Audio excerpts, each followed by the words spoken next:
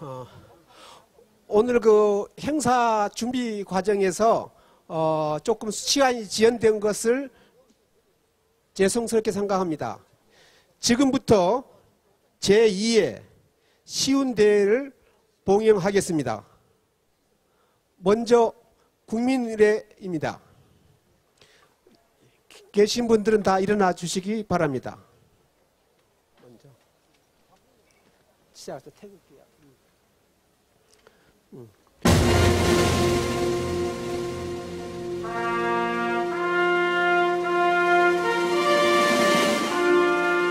태극 앞에 계- 앞에 보이는 태극기를 향해 주시기 바랍니다. 나는 자랑스러운 태극기 앞에 자유롭고 정의로운 대한민국의 무궁한 영광을 위하여 충성을 다할 것을 굳게 다짐합니다. 바로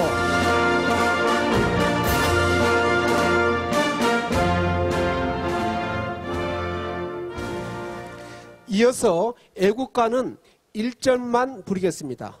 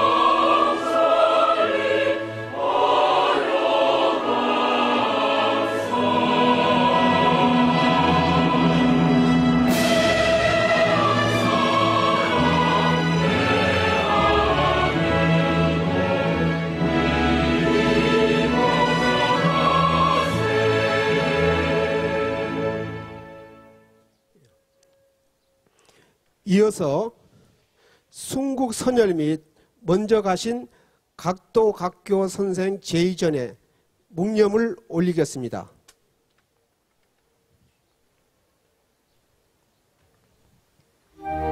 묵념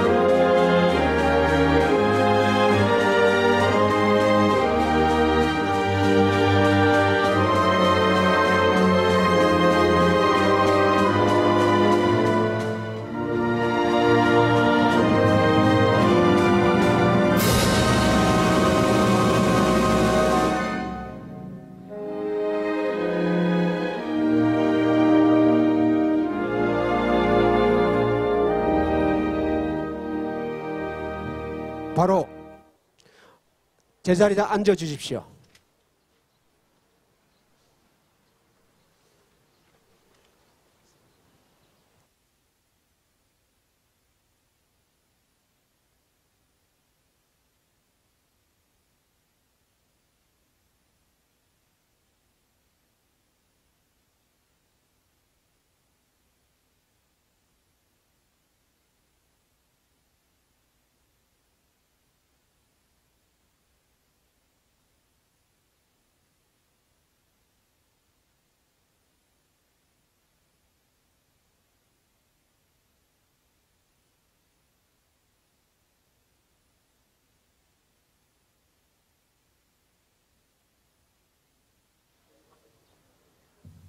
이어서 대장님이 예, 대사를 선언하겠습니다.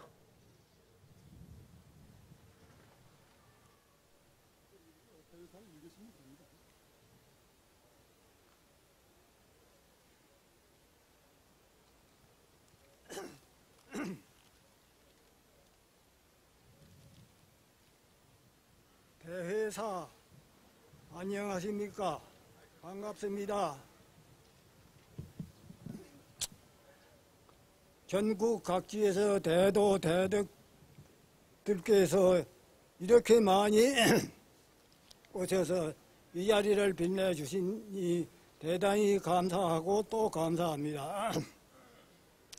특히 저 멀리 부산에서 올라오신 도인님께서도 참 뜨거운 감사와 함께 크게 환영하는 바입니다.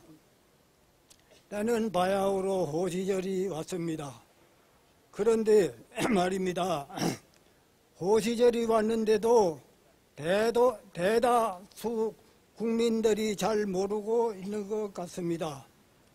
아니 생각해 보- 봅시다. 고도로 발전된 과학문, 과학적 물질, 물질 문명과 철학적인 정신 문명도 많이 발전해 와- 왔고 또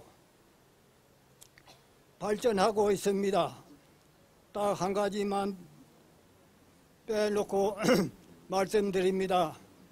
교통통신, 산업 발전도 발달로 일- 일어, 일어나마 어, 좋은 세상입니다. 성경이 따, 따로 없습니다. 지금 이것이 바로 지상 성경입니다.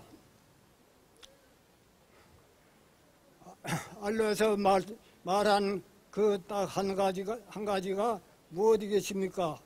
예, 다름 다름이 아닌 우리들의 본심이지요.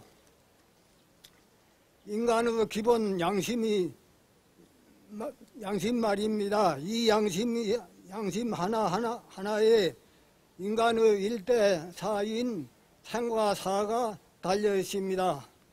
예, 우리가 양심적으로 산, 살다가 죽느냐, 양심을 등지고 산, 살다가 죽느냐, 이것이 아닙니, 아닙니다. 아닙니까?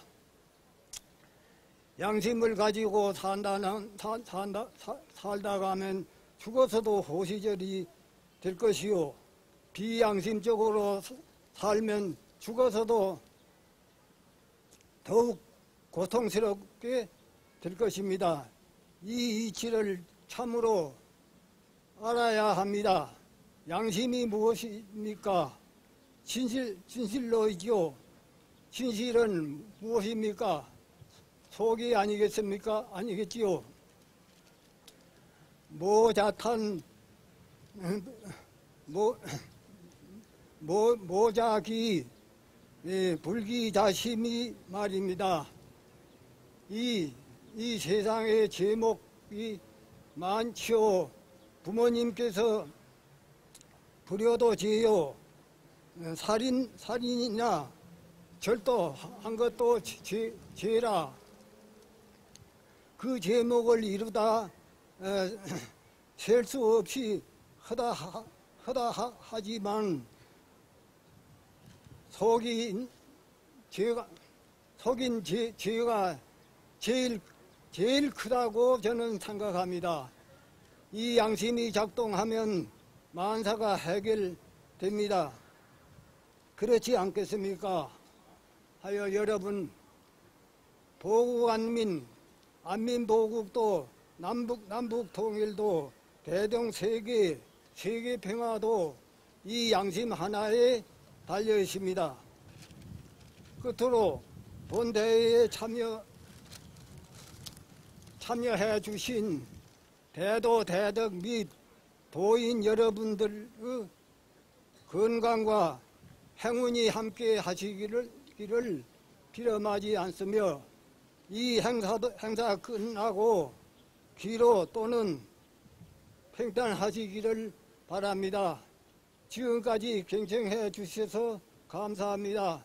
단기 4천, 4350년 정년 4월 10일 서기 2017년 5월 5일 대회장 김호수 대, 대독 이상 대회를 마칩니다.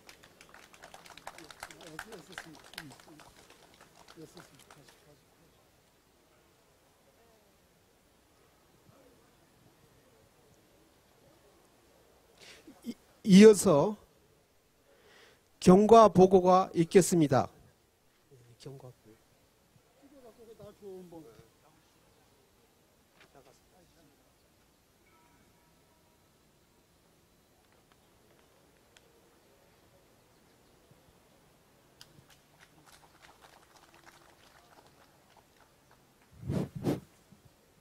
그 경과도로 마- 경과 보고 말씀드리기 전에 그 일을 조급하게 시작하다 보니까 여러모로 매끄럽지 못합니다. 이해해 주시기 바랍니다. 방금 그 어, 대회사를 대도거신 분도 오늘 대회사 하실 분이 그 김효수 선생이 계시는데 저 전라부 전라남도 나간에 계세요. 하필이면 배탈이 나셔가지고 예, 3일 전에 배탈이 났답니다. 웬만큼 기운이 기운이 챙기면 올라오고 있는데 82살이신데 예, 그 양반 저 오시면 쩌렁쩌렁이 잘 하실 건데 그 양반이 못 오셔서 대독을 하시느라고 아, 조금 저, 저 매끄럽지 못한 걸 이해해 주십시오. 중요한 것은 골자는 그거 아닙니까? 양심. 양심 하나 가지고 사냐 못 사냐에 달려 있고 이, 이, 이 총체적으로 지금 이 세계 각국이나 우리나라나 이 어려운 문제가 양심이 작동을 안 해서 그래요. 그렇지 않습니까? 예, 부처님 말씀도 그렇고 공자님 말씀도 그렇고 내가 본 게 뭐 예수 말도 보다 다른 것이 없어요. 양심만 하나만 제대로 아까 무작위를 저 저 저 대도거신 양반이 모작위를 읽으셨어. 말무자가 있거든요. 어미 모자 비슷한 거. 무작위 공자는 무작위를 말씀하셨어요. 스스로 속이지 말- 말라. 또 부처님은 뭐 불기자심 스스로 마음을 속이지 말라. 같은 말이죠. 그런데 부처님은 한자 더 늘었어. 공자님은 석자로 줄였어. 내가 저 스물한두 살부터서 애기들 훈장을 했어요. 근데 훈장 해보니까 별의별 애들이 다 있는데 그 중에 어떤 애는 명심보감을 가르치는데 공자가 최고래. 왜 최고냐 했더니 말이 짧아요. 다른 사람들은 말이 길어서 위기가 복잡한데 공자 말이 짧거든. 그러니까 공자가 최고라고 하는데 역시 걔 말이 맞아요. 원래 대가 근분들은 말이 길지 않죠. 예, 그리고 불기자심 그랬는데 에, 공자께서는 석자로 줄여서 무자기, 자기를 속이면 안 된다. 다 자기 속인 사람들 많아요. 나도 속였어. 나도 속였는데 뭘 속였냐면 관을 상대로 두 번을 속였어요. 근데 사실은 선의적인 거짓말인데 내가 산에서 수행해 보니까 그것도 걸립니다. 그것마저도 안 해야 돼. 말해놓고 실천하지 않을 바에는 약속을 안 해야 된대요. 근데 나는 그 임기응변으로 했단 말이에요. 해놓고 아 이게 수행 중에 후에 그, 그것이 걸리는데 그래서 나 당장 쫓아가서 몇십 년 후에 가서 저그 사과를 했어요. 관을 상대로. 그러니까 아 이거 몇십 년 전 얘기인데 뭘 그런 걸 하시냐고. 아 선생 같은 양말 있으면 우리 경찰이 아무 필요 없겠다고 이런 말씀을 하시면서 한마디 이런 얘기를 합니다. 선생님의 그 사례를 내가 이거 교육할 때 성공 사례로 쓰겠다고 그런 얘기도 들었습니다만은 정말로 이 세상 모든 죄악은 속인 걸 자기 자신을 속인 걸로부터 출발해요. 그러지 않습니까? 대회장 그 얘기가 그 얘기에 골자는 그런데 조금 매끄럽지 못한 걸 양해 부탁드립니다. 제가 경과보고라 할 것도 없는데요. 굳이 말씀드린다면 오늘이 1919년 아닙니까? 지난 1999년도 9월 달에 이 자리에서 내가 첫회 그 시운 대회를 했었습니다. 그때 할 때는 먼 훗날 내가 정말로 멋지고 크게 성대하게 에, 대회를 준비하기 위해서 19년 전에 내가 예행연수 참아 여기 이 자리에서 했어요. 그리고 다음에는 그때 내가 서울 환경을 둘러볼 때 저 여의도 광장에 5.16 광장이 있었어요. 비행광장. 그 혁명광장이라고도 하죠. 그 박정희 씨가 그 혁명해 놓으니까 그 혁명광장이라고 하면서 비행장으로 썼어. 나도 혁명의 뜻이 있는 사람인데 박근혜 혁명과 박정희 혁명과는 달라요. 그 양반은 총칼로 했지만 나는 맨주먹으로 할 건데 도덕 혁명에다가 뜻이 있어요. 그래서 앞으로 혁명하려면 이 혁명, 혁명광장에서 해야겠다 하고 앞으로 19년 전, 20년 후에 그 크게 성대하게 정말로 대한민국을 확 뒤집을 수 있는 그런 혁명을 해야 되겠다 하고 가, 각오를 했는데 이게 변수가 생겼어. 박근혜가 탈을 낸 바람에 내가 원래대로 하면 금년 연말 선거 어, 앞두고 한 달 전 전 앞두고 하려고 했었어요. 19년 전에 그렇게 계획을 했었습니다. 아 근데 박근혜 대통령이 그 이거 파면당한 바람에 이 조기 선거가 돼가지고 안 하려면 뭐라도 하려면 선거 전에 해야 돼. 요 대회를요. 아 그런데 너무 급박해서 이거 준비도 한다고 했어요. 오래도록 한다고 했어도 좀 오늘도 좀 서툴잖아요. 아 그래서 이거 할거나 말거나 하다가 이, 아, 이 오늘 안 하면 또 5년 후로 또 지나가요. 그래서 어쩔 수 없이 좀 이제 급박하게 하게 됐습니다. 아무튼 양해해 주시기 바랍니다. 그러나 내용은 정말로 뜨거운 내용이 있습니다. 저거 구호만 보시도 알아. 태극기가 바, 바뀌었죠. 저거 35년 전부터 바뀌어야 돼. 저거 그냥 안내 문 다 있어요. 근데 국가에서 뭐 이거 뭐 진리를 알아, 뭘 알아, 뭐.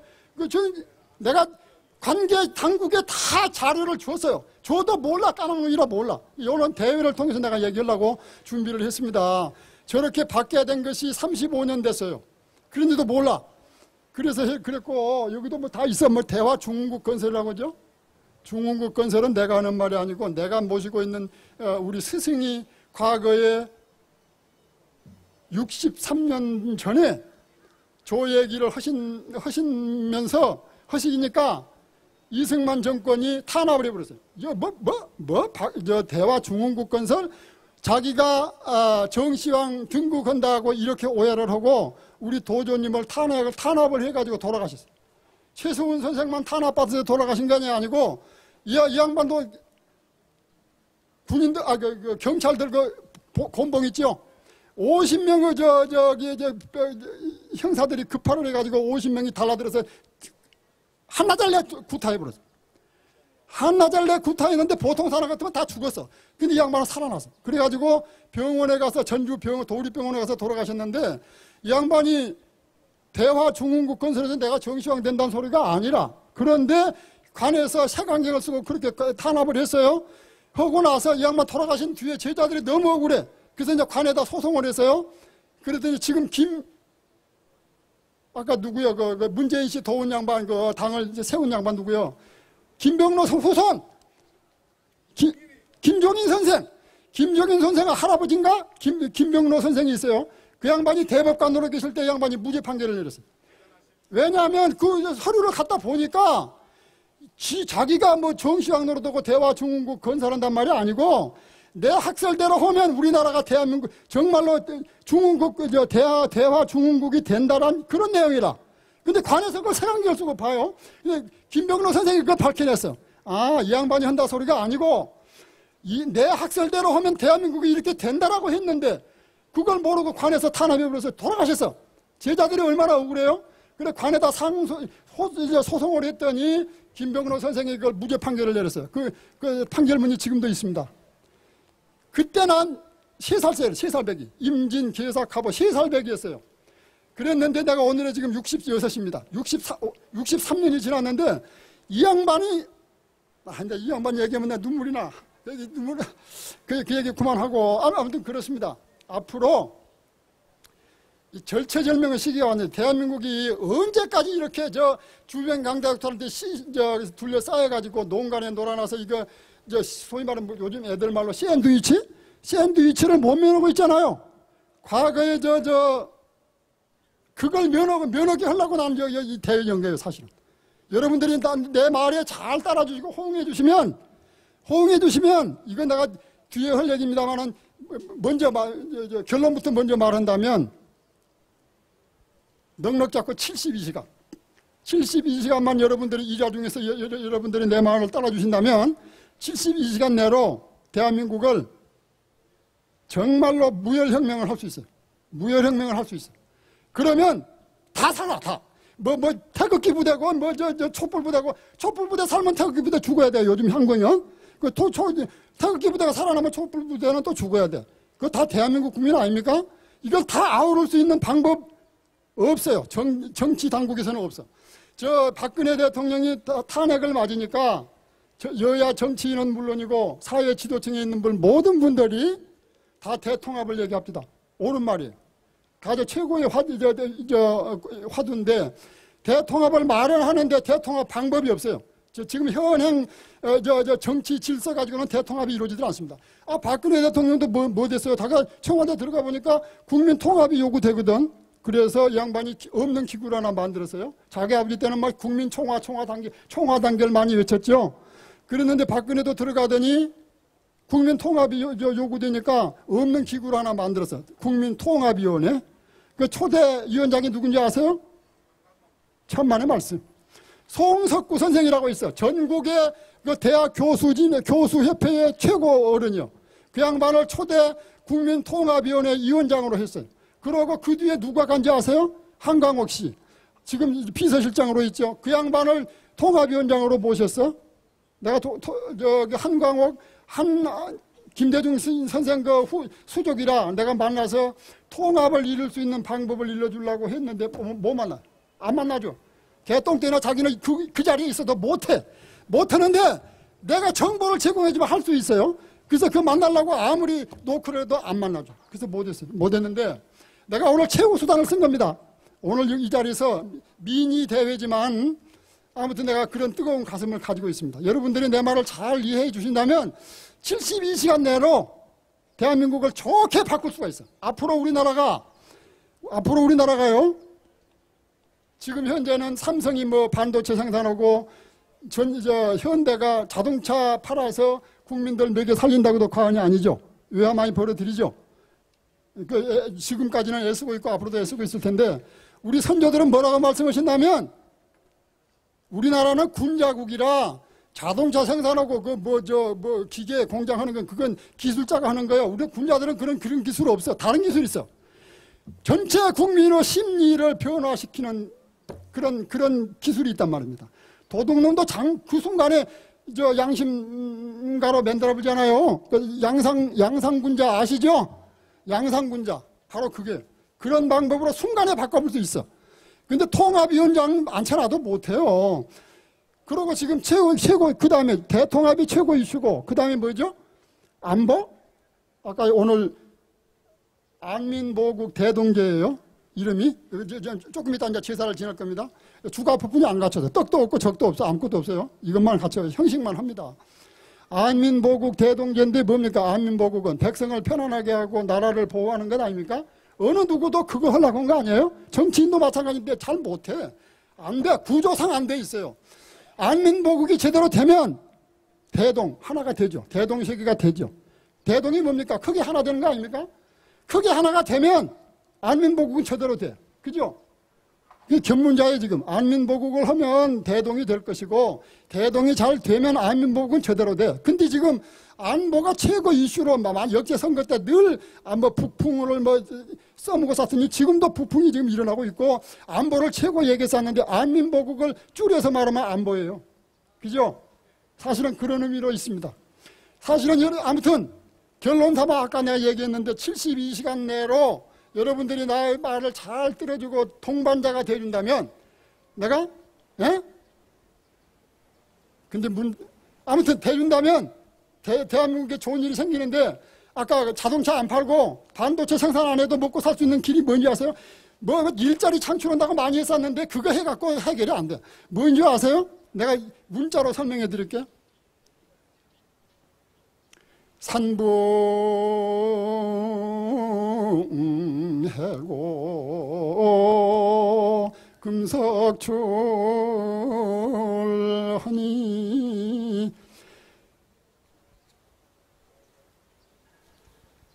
열방 호접이 견광내를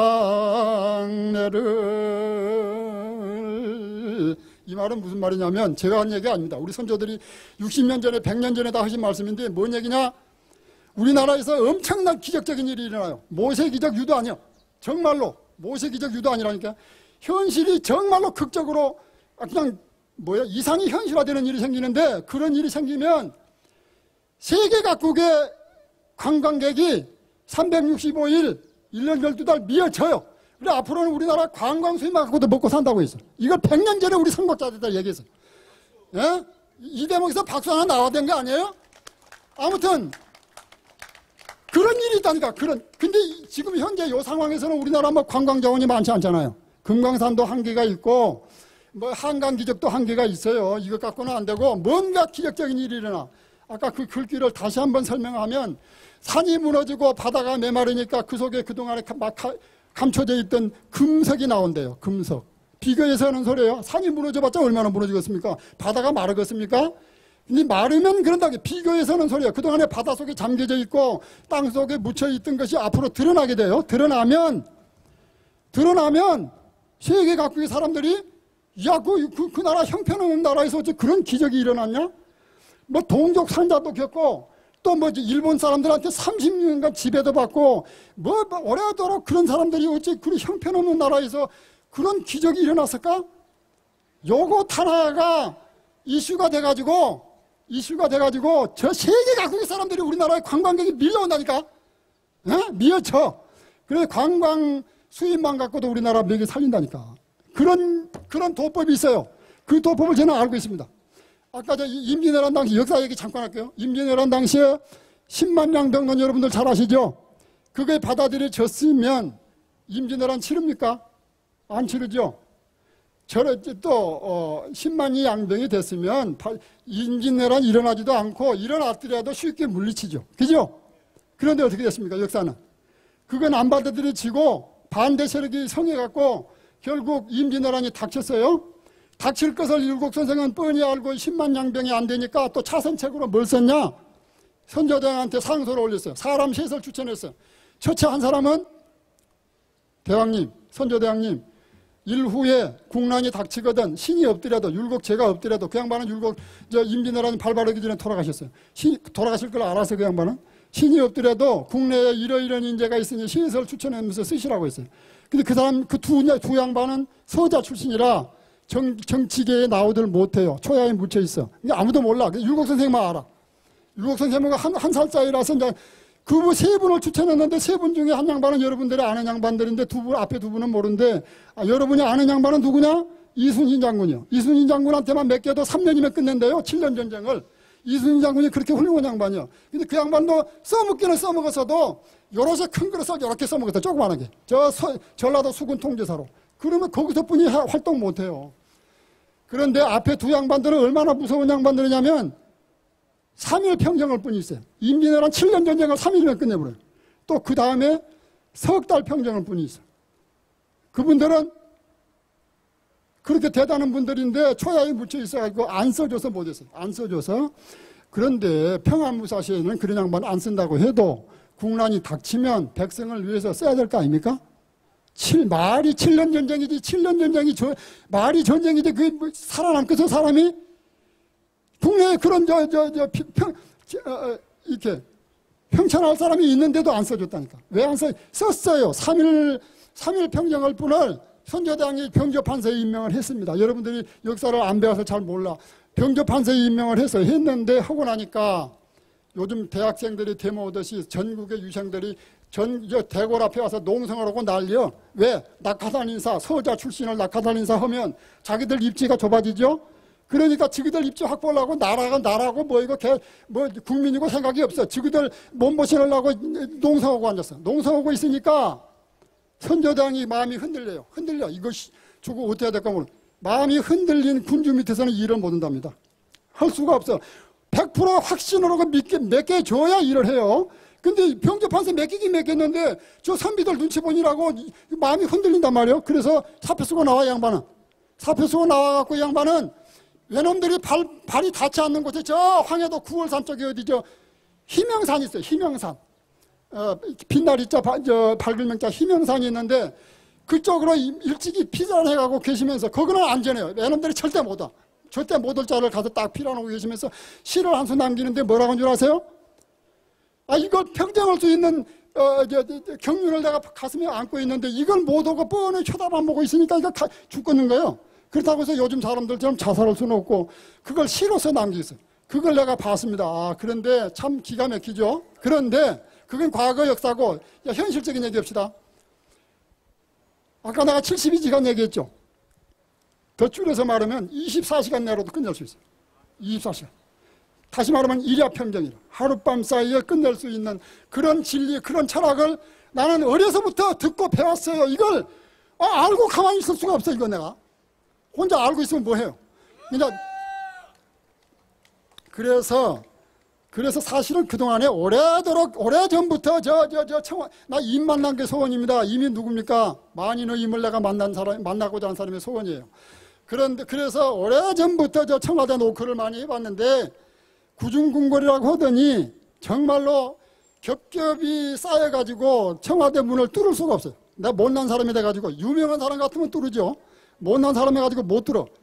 그래서 별짓을 다 해봤는데 못 뚫어서 지나가 버렸어요. 지나갔고 그게 언제냐면 박정, 김대중 대통령 시절입니다. 김대중 대통령이 남북 물꼬를 텄죠. 그때 통일을 이룰 수가 있었어요. 통일의 비전이 있습니다. 청학동에가 대대로 우리 선각자들이 내려오는 저, 그저 통일, 평화 통일을 이룰 수 있는 시나리오가 있어요. 그것을 전달만 하면 대통령이 연출만 하면 돼. 그걸 전달하려고 김대중 대통령 때부터 김대중 대통령이 물꼬를 트니까 하지 안 트면 못하죠. 이렇게 지금, 지금처럼 남북한이 대화가 꽉 막히면 못해. 그런데 이 양반이 물꼬를 터 초, 정주영 씨를 통해서 소, 소 천 마리를 갖다 주고 천 마리가 아니야 천 한 마리 보냈어. 천 한 마리를 보내면서 물꼬를 트니까 그러면 이제 됐다 싶어서 그 시나리오를 전달해 줘가지고 대통령이 집행만 하면 돼요. 내가 거기서 조금만 도우면 돼. 그런데 안 통해요.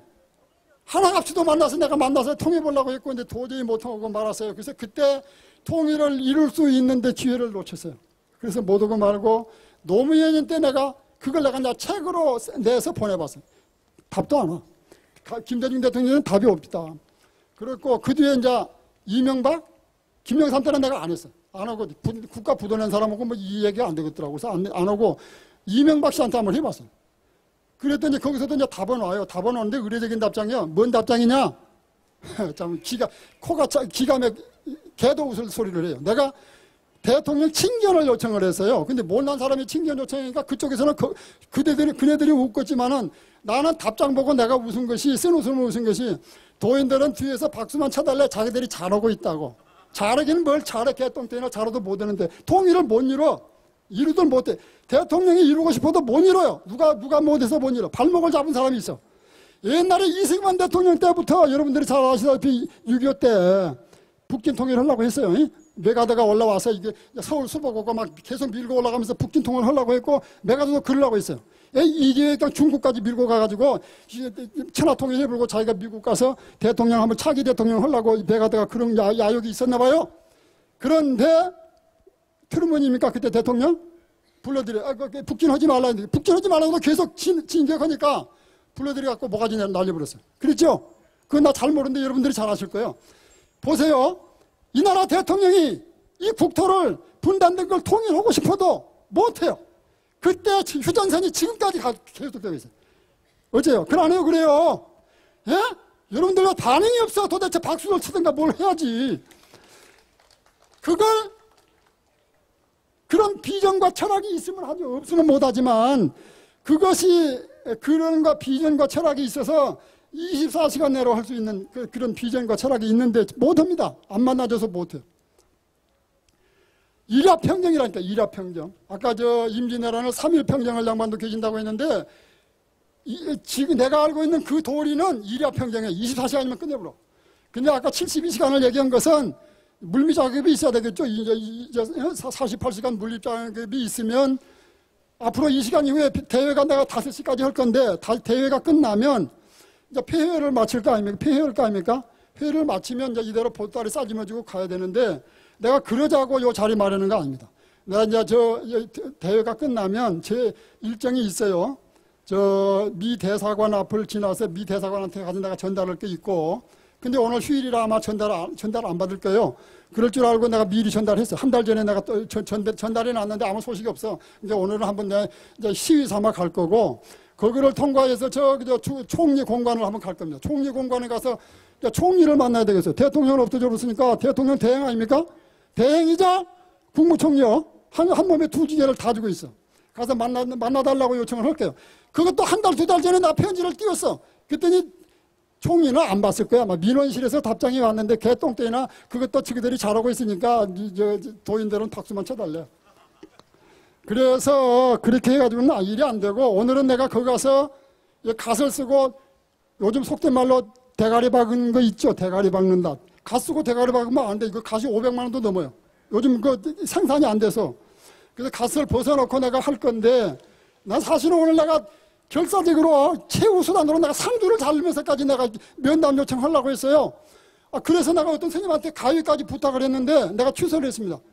왜냐하면 두려워서가 아니고 선약이 있어요. 내가 6월 1일자로 일본을 가야 돼. 일본을 약속이 돼 있어서 그거 때문에 내가 오늘 상주는 못 자르겠습니다. 다음에 내가 기회가 있으면 자르랍니다만은 아, 일본을 왜 가자고 하냐면 어떤 양반이 생명 존중, 탈핵, 핵에서 벗어나야 된다. 요 운동을 펼친 양반이 있어 우리나라에 어떤 그 유명한 저, 저 교수가 하나 있는데 아 뜻이 좋아서 내가 그 동참한다고 했더니 나를 보고 가우마담을 삼고 싶는가 봐. 일본 가는데 요 모습 보고 가면 좋겠다고. 나 근데 야, 야, 일본 가려면 여- 여비가 없다. 그러니까 여비 자기가 대준대. 대준다고 날 보고 몸만 빌려달래? 그것도 안 해준다고 할수 있잖아요. 그래서 거기를 먼저 약속을 해서 오늘 상투를 자르면 그 약속을 파기입을 해야 돼요. 그래서 안 되게 생겼어. 그래서 국위 선양을 한 번 더 하고 하고 나중에 내가 기회가 타면 상투를 자르고 가서 근데 시간이 없어 지금 70 이제 몇- 오늘 5일 아니요? 6, 7, 8, 9일 날은 선거예요. 선거 전날 끝내야 돼. 3일, 3일, 3일이면 끝낼 수 있어. 3일. 그래서 내가 이제 최우수단으로 가서 머- 머리를 자르면서 가도 기대, 근데 사실은 머리 잘라도 저기서 응해주질 않죠. 응해주겠습니까? 아, 내일 모레 이제 보따라 싸주면 주고 갈 건데 응해주겠어요? 안 응해주죠? 예? 이제, 이제, 이제 인수, 이제, 내- 뭐 9일날 대통령 출마, 이제 투표가 있, 이루어지면 이제, 이제 10일부터 이제 대통령이 취임할 건데, 그 뭐 황 총리가 뭐 그런 배짱도 없을 뿐더러, 어, 그러고 싶지 않지. 그런데 만나기만 만나면 내가 이 귀를 뚫어서라도 내가 이해를 시킬 수 있어요.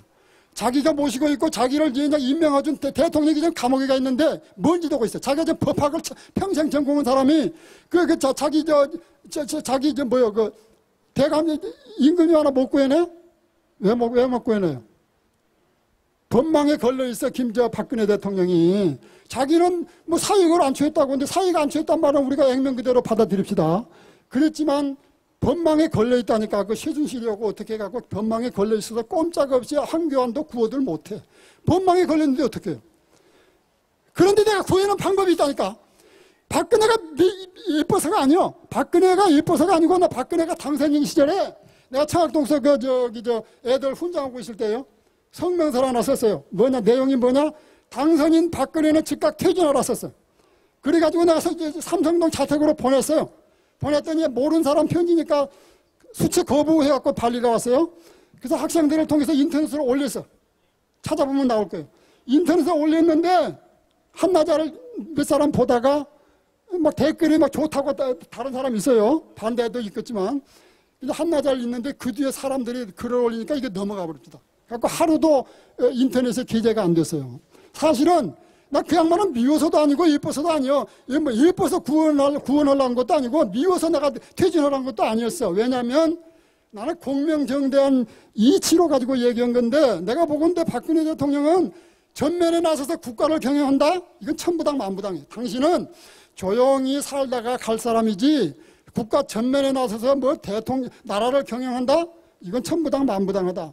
그러니 당신은 즉각 퇴진, 당선인 박근혜는 즉각 퇴진하라. 그런 성명서였다니까, 내용이. 이 내용은 뭐 요- 요약해서 말하면 당신이 만일 내 말 안 듣고 대통령직을 수행하면 개인도 불행하고 국가에 재앙이 온다. 그러므로 빠를수록 좋다 해놓고 취임식이 그때 뭐 20, 2월 24일인가 언제인데 그 이전에 퇴진해야 된다고 내가 얘기를 했었는데 들을 리가 없지요. 그 편지를 받았으대로 내 말을 안 듣겠죠. 예? 아이 촛불 민심이 그렇게 막 광화문을 뒤덮어도 안, 안, 안, 안 저, 자기 뉘우친 걸 자기 잘못을 모르고 지- 어, 결국 파타, 파면한다 했습니까? 파면? 아, 그 조금 머리가 좀돈 저, 잘 돌아간 사람 같으면 파면은 안 당해야지. 자기가 스스로 사퇴하면 되는데 파면까지 당해요. 근데 그분은 자기는 이제 결백한가 봐. 사실은. 결백하나 뭐나 우리 이 나라가 법치국가라며 법이 아니었으면 나 진짜 이 대한민국 뒤집어 엎었어요. 법 때문에 못해, 법 때문에. 알았어요? 내가 지난번에 뭔 짓을 했더니 강력범 현행범으로 나를 잡아가. 갖고 나가 재, 저기, 저기, 감옥에 가서 저 한 달간 살고 재판받고 나왔어요. 알았어요? 법망에 걸리면 그렇더라니까. 그냥 재판관 보고 그랬어. 나 묶어갖고 청와대 데려다 달라. 나 그냥, 그냥은 안 데려다 주니까 묶여서 내가 가고, 가, 가, 간다. 데, 데려다 다오. 그러니까 비창 재판관이 뭐라고 하냐면, 선생, 아무리 좋은 뜻이라도 방법이 문제 아닙니까? 그런데 이 범법을 했으니까 당신 내가 내주고 싶어도 어, 이게 법망에 걸려서 어쩔 수 없습니다. 재판 받아, 받고 나가야 됩니다. 재판 받고 나간 건 좋은데 내가 감옥 사는 건 두렵지 않는데 나라가 걱정이다. 나라 그러니까 아무리 존도 또 어쩔 수 없다는 게 우리나라 법, 법치국가. 그래 법치국가가 그러면 좋다. 이 법을 내가 어, 때려 부셔갖고 법을 바꿔야 되겠다. 법을 바꾸지 않으면 손학규 선생이 저 강진에서 뭐 내려오면서 정치 세판 짠다고 그래요. 나 기대를 했어요. 내가 만났어 한번. 세판 짜는 내력을 들어보니까 아무 시나리오가 없어. 결국 그냥 요, 요 정치판에 들어가서 뭐 자기 판, 정치판 요대로 두고는 안 돼요. 안 돼. 다른 판이 있어. 다른 판을 아무도 구상 못 하고 있더라고요. 근데 못난 나는 그걸 알고 있어요. 그, 그 판을 짜려고 하는데 법망이 걸려서 못해요. 법망이 걸려서 못해서 어쩔 수 없이 내가 여기서라도 이렇게 일단 뭐 다군 소리가 될지 내 소리가 지금 다군 소리가 될지 까치운 소리가 될지 몰라요. 아니면 까마귀 운 소리도 될 수도 있어요. 여러분들이 까마귀 까치 잘 알죠? 전령이에요. 이? 근데 이 소임이 달라. 까치는 희소식을 알려주는 거고 까마귀는 비보를 알려주는데 대개 까치가 울면 아 까마 까치가 울면 희소식이 온다고 좋아하고 까치를 선호해요. 이? 다른 나라는 다르다고 해도 우리나라는 까마귀를 흉결하고 기분 나빠요. 그거 모르고 오신 말씀이요. 까마귀가 울어서 나쁜 일이 생긴 게 아니고 그 집에 이- 그 나쁜 일이 생길 걸 미리 알고 조심하라고 전령해 조심하라고 일러주는 거예요.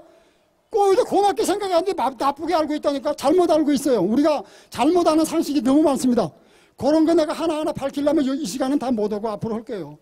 그런데 아무튼 까마귀가 그런 까마귀인데 내 말이 여러분들이 잘 새겨 들으면 까마귀 소리도 될 수 있고 까치 소리도 될 수 있고 다군 소리도 될 수 있어요.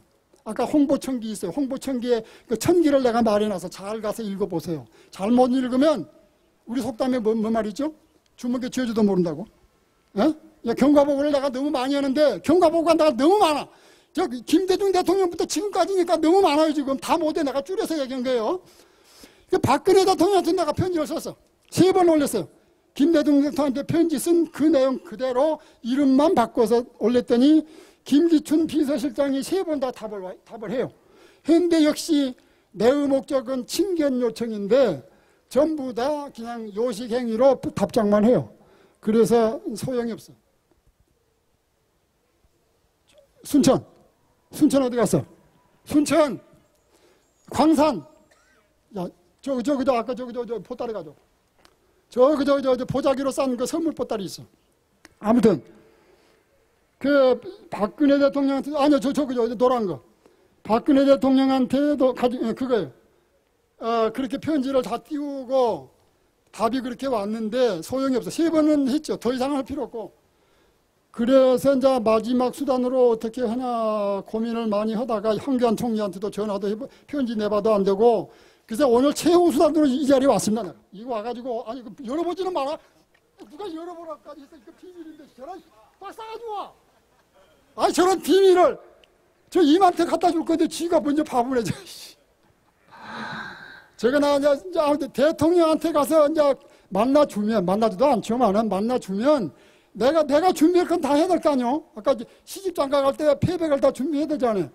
나 사실은 박근혜한테 나 장가가고 싶은 사람이요. 나 지금 호랩입니다. 41살 때부터 내가 호랩이가 돼가지고 지금까지 내가 호랩이로 살아.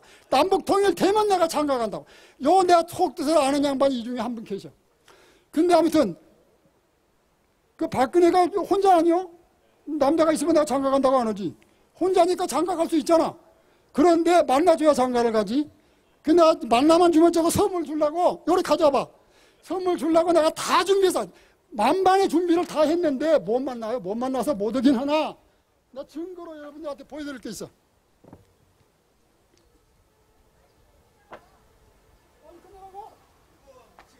아, 나, 나는 안 뜨거운데.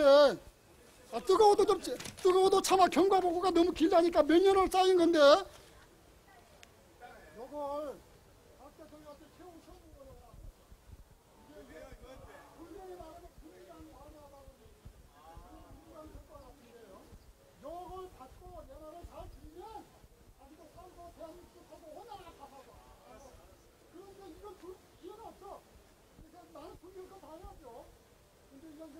소원이 이게 5,140니까? 가지고 계시네. 네네네. 근데, 근데 요금을 가지고 요금을. 나봐. 요거, 요거, 이렇게 난 준비할 건 다 했어요. 근데 저기서 말하는 거 못해. 어, 뭐요? 처녀가, 처녀가, 처녀를 먼저 만나요? 응? 나도 소녀인데, 처녀 만나면 애 낳을 수 있어. 그런데, 애를 낳으려면 몇 달, 열 달 기다려야지. 열달 기다리고 정확한, 열달 기다려야 되고 정확히 말하면 300일이 아니더만 285일 그런가요? 근데 이제 일찍 난 사람은 칠삭동이 되죠. 한 명의 선생은 288일. 예, 미안합니다. 예, 정확히. 예, 고맙습니다. 아, 예, 예, 고맙습니다. 맞아. 예. 아무튼, 이 이제 300일이 다 안 걸린 건 사실이요. 300일이 다 안 걸린 건 사실인데, 거의 300일만 되면 에, 옥동자를 분만하잖아요, 여자가. 그러니 나는 72시간, 줄여서 24시간이면 내가 옥동자를, 옥동자를 생산해낼 수 있어. 박근혜만 만나면. 박근혜는 안 되고, 황 총리만 만나도. 그런데 만나줘야 말이죠. 그래서 내가 만나는 건 이제 물 건너 갔지만 몰라 99.9%의 저기 이제 가능성은 없지만 그, 그 0.1%의 그 희망을 걸고 내가 나중에 폐회식이 폐회식 한 다음에 에, 총리 공간에 가서 시위를 할 겁니다. 만나달라고 만나주지 않을 거예요. 한 시간이나 두 시간이나 하려가 모르는데 하다가 적당히 하다가 이제 또 갈 거예요. 이제 행선지를 돌릴 거예요. 돌리는데 어디로 돌리느냐? 저 여의도 가서 내가 원래 행사를 하려고 했는데 못했어. 그러니까 오늘 여의도 가서 마, 마지막 회항을 여의도 저 KBS 방송국 앞에 가서 하랍니다. 요, 요, 날, 요 얘기 할 거야. 황 총리 만나달라고. 근데 안 만나주지. 그러면 거기서 끝나냐? 오늘 일과는 거기서 내가 회항을 하랍니다. 그리고 내일 모레 일정이 있어요. 내일 모레 내가 이제, 이제 정말로 이제 극단적인 수단을 쓸 거야. 상도를 안 자를지라도 내가 차를 하나 빌- 빌려가지고 기사하고 차하고 내가 빌려놨어. 빌려가지고 서울 24, 72시간 내로 곳곳을 그, 저, 저, 그, 다니면서 내가 구호를 외칠 거예요. 뭐 구호가 있어. 그런데 이 대목에서 한, 한 가지만 얘기할게요. 여러분들 과거 경술국치 알지, 아시죠? 경술국치가 이완용의 일파를 통해서 일어나고 있는데 전개 중인데 사, 장안의 사람들은 아무도 몰라. 까마득이 몰라. 지금도 뭐 우민 정책을 쓰고 있어. 지금도 모르는 게 많아요. 근데 그때는 더 그렇지. 그런데 그때 저 삼각산 저 뒤에서 거기 수도 오신 어떤 수도인이 경술 국치가 전개되는 걸 알고 있는 양반이 계셨어. 그 양반이 나오고 같았던가 봐. 알고 있는 양반이 계셔가지고 이거 외놈들한테 이거 나라가 이거 통째로 넘어가는데 국민 시민들이 아무도 모르고 있네. 요걸 알리기 위해서 알리기 위해서 뭔 일인 줄 아세요? 5월에 죽은 개를 어깨에다 둘러매고 서울 장안 고속 그 구석구석을 둘러매고 다녔어. 다, 다니면서 개사시오 개사시오 고 다니더래요. 그러니까 남들이 다 보고 미쳤다고 그랬어. 저 양반이 산에서 수도하다가 어, 헛귀신이 들려갖고 미쳐갖고 저렇게 아니 5월에 성수기죠. 보신탕 성수기는 성수기로 돼 산개를 사먹죠. 죽은 개는 안 사먹어. 그죠? 그, 그 양반이 개 팔라는 양반이 아니요. 우리나라가 지금 죽은 개와 같은 지금 신세에 처해 있다. 이걸 알리라고 죽은 개를 울려매고 다니면서 곳곳 저 골목골목을 누비고 다니더래요. 그런데 나중에서 그걸 알았어. 그때 당시에는 다들 미쳤다고 손가락질 했는데 나중에 아 경술 국치가 이제 이렇게 만천하에 드러나니까 서울 장안의 사람들이 아 그때 그 삼각산 도인이 그 죽은 개 짊어지고 다니더니 아 이거 이 경술 국치를 우리한테 알려주는 방편을 그렇게 썼구나라고 그때서 알았답니다. 또 더 세밀하게 말하면 이런 것도 있어요. 36년간 이거 외놈 치하에서 이제 집발 저기 숨도 못 쉬고 산다는 얘기까지 거기 암시돼 있다고 그래. 풀이해볼게 들어보세요. 죽은 죽은 개가 뭡니까? 죽을 사자입니까? 그러니까 사니까 숫자는 사죠. 개구자가 있죠. 개구. 개견자도 있지만 개구자가 있어요. 개구자를 구를 숫자로 하면 뭐예요? 구죠? 그럼 49, 36이죠? 49, 36 정확한 49, 36의 숫자를 거기다 암시하면서 앞으로 36년 동안 앞으로 저 이 개처럼 저 외놈들한테 살아야 된다, 지배받아야 된다. 그 얘기를 했던 거예요, 그 양반이. 그걸 누가 합니까? 아무도 몰라. 후인들이, 후인들, 후인들 뒤에서 알았어, 뒤에서. 내가 오늘 하는 얘기도 사실은 그와 비슷합니다. 내 말이 통하면, 저 황교안 총리하고 통하면 72시간 내에 이루어집니다. 그런데 통할 리가 없죠. 그래서 이제 못 옵니다만은 나중에 알게, 알게 될 거예요. 내가 황교안 총리를 통하려고 요전에 며칠 전에 바쁜데 저 이, 부산을 갔어요. 부산을 왜 갔냐면 부, 부산에 저 황교안 총리하고 같은 법학을 한 양반이 있어. 서- 조금 선배는 선배인데 졸업 졸업 동문이라고 합니다. 누가 있어? 여기 우리 저 이, 이 좌석에 지성 스님이라고 한 분이 계시는데 내가 가장 존경하는 스님인데 그 스님도 아는 음, 황종국이란 저 부장 판사가 있었어 옛날에. 그런데 부장 판사진 됐던지 모르고 이 양반도 나라를 바꾸겠다고 그 양반이 당군 홍익인간 정신이 있어요. 어, 이- 내가 대통령이 돼야 되겠다고 대통령 한, 판사직을 냈던지 모르고 대, 대통령 출마도 한 사람이라 그 양반이. 그랬는데 이제 지지 세력이 없으니까 이제 중간에 포기하고 말았는데 그 양반을 나 지난번에 가서 만나서 여보세요. 당신 황청리하고 이 성씨가 같으니까 어째 그, 그 길 통할 수 있습니까? 함께 어, 통하려면 통하지 하고 그래? 아 그러면 좋다. 그러면 길을 놔, 놔주시오. 물밑 작업을 내가 했죠. 했는데 길을 놓으려면 내용을 알아야 길을, 길을 놔, 놔주지 하고 그래요. 그렇지 내용을 알아야지. 내용을 조금 얘기했더니 이해할 리가 없죠. 그 양반이 내 말을 이해할 그런데 중요한 것은 이해할 리가 없어. 그래서 못 오고 말았습니다. 그러면서 그래도 그 양반은 우리 어, 위대한 당군 할아버지 후손이므로 홍익인간 이화세계 광명 2세 그런 철학을 알므로 기적적인 일이 앞으로 일어날 거라고 그 양반도 생각을 하고 있어요. 기적적인 일을 일어나려면 내가 그 일을 하려고 하니까 이 일 좀 받아오니까 아이고 그거 갖고 안 된다. 그 양반도 역시 법학, 법학도라 현행 법 테두리 안에서만 생각하지 법을 벗어난 얘기를 내가 하니까 깜짝 놀라면서 못 온다고 그래요. 그래서 못 오고 오면서 내가 차를 타고 오면서 올라오면서 나 전화를 했어요. 저, 저 지금은 변호사지 변호사를 해요. 황 변호사. 내가 황 변호사를 통해서 기적을 현실화 시키려고 했는데 내가 못 오고 가요. 그러니까 그 양반이 잘 가라고 하면서 날 보고 뭐냐면 그러나 기적은 일어날 겁니다. 그래 또 기적은 일어날 것이래 앞으로. 물론 일어나면 좋겠죠. 근데 내가 하면 쉽게 되는데 내가 안 하면 이제 누가 할는지 모르겠어요. 어, 그런데 일단은 그 양반은 그런 기대는 가지고 있어. 기대만 가지고 안 돼요, 여러분. 여러분, 남북 통일을 누가 원하지 않은 사람이 있어요. 어린애기들 철부지, 나이 많이 먹어도 철부지나 남북 통일을 원하지 않으니까 누가 원하지 않아요. 다 원하죠.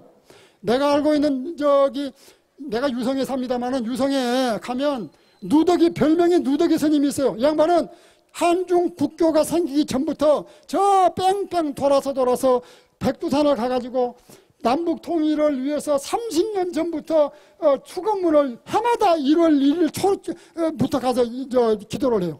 30년 전부터 그 기도가 적은 기도입니까?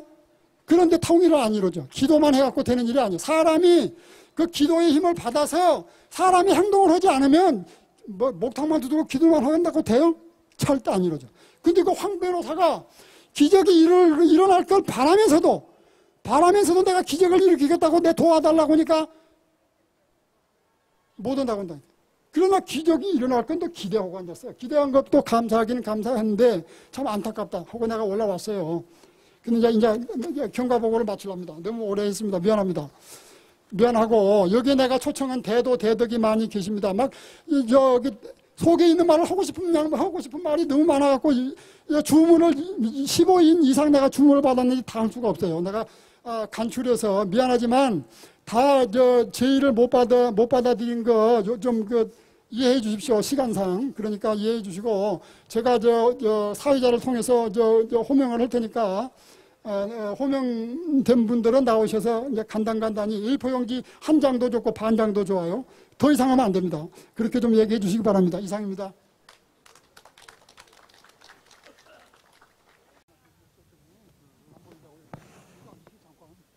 덥지만 잠깐 앉으세요.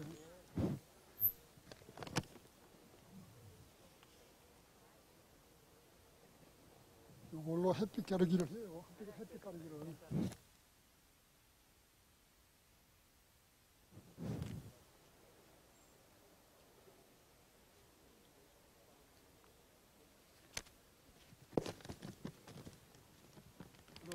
그리고 그리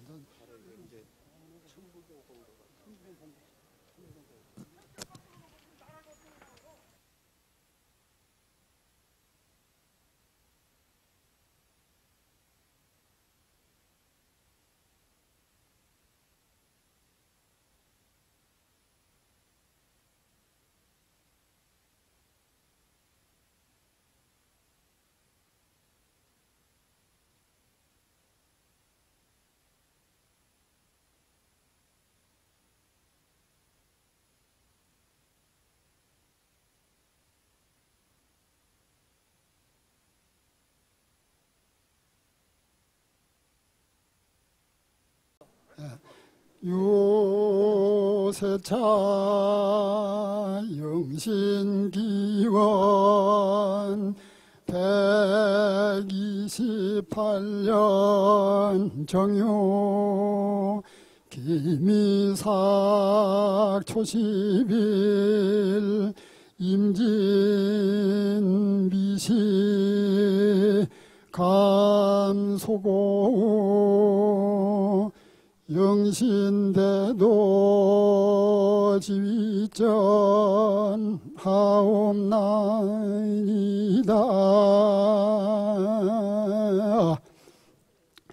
원형이정은 천도지상이요. 인의의 지는 인성지강이니라 지존지령지신 함께 감조던 하귀신 인물이 수감불복이리요. 필요 다경대기라다.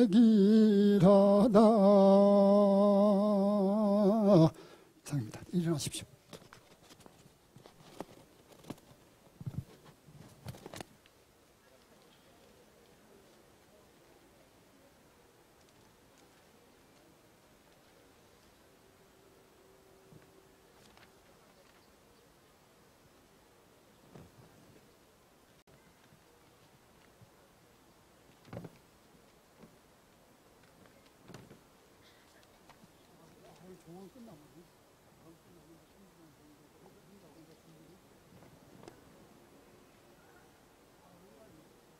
나오십시오 그래.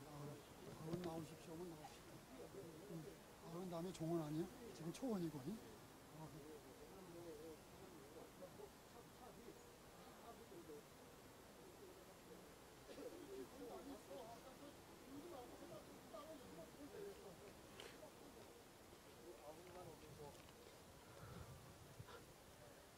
자, 이어서 아흔 분들은 나오십시오.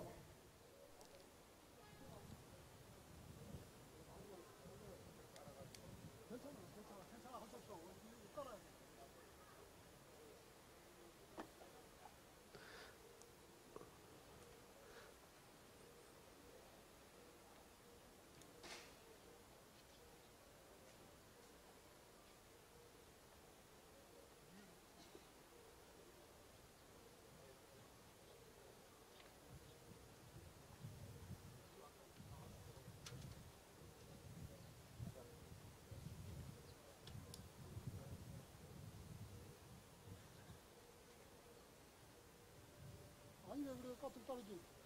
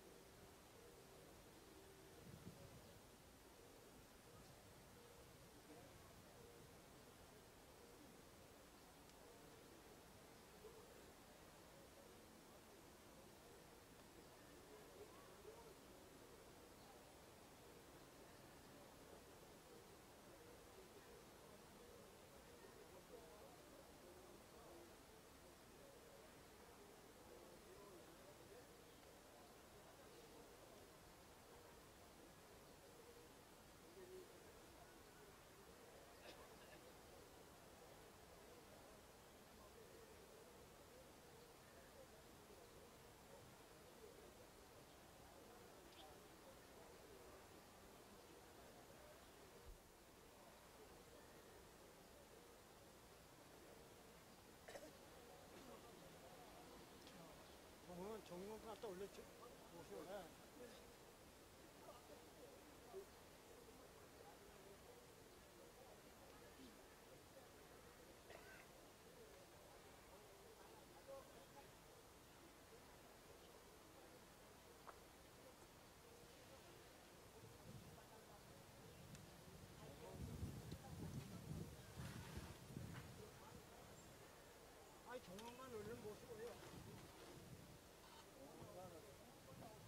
종원관들 나오십시오.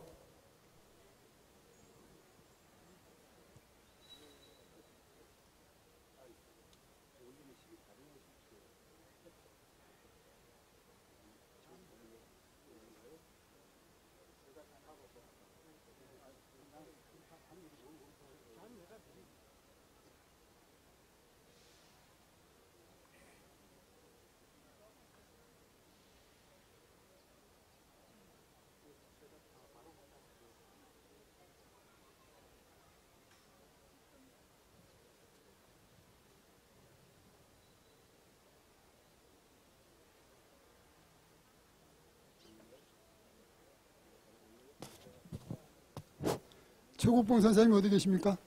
국봉 선생님? 국봉 선생님! 아, 거기 계세요? 야, 좀 준비하고 계세요. 좀 이따. 좀 이따 이제 오, 오, 오시라고 할게요. 거기 계세요, 잠깐. 예.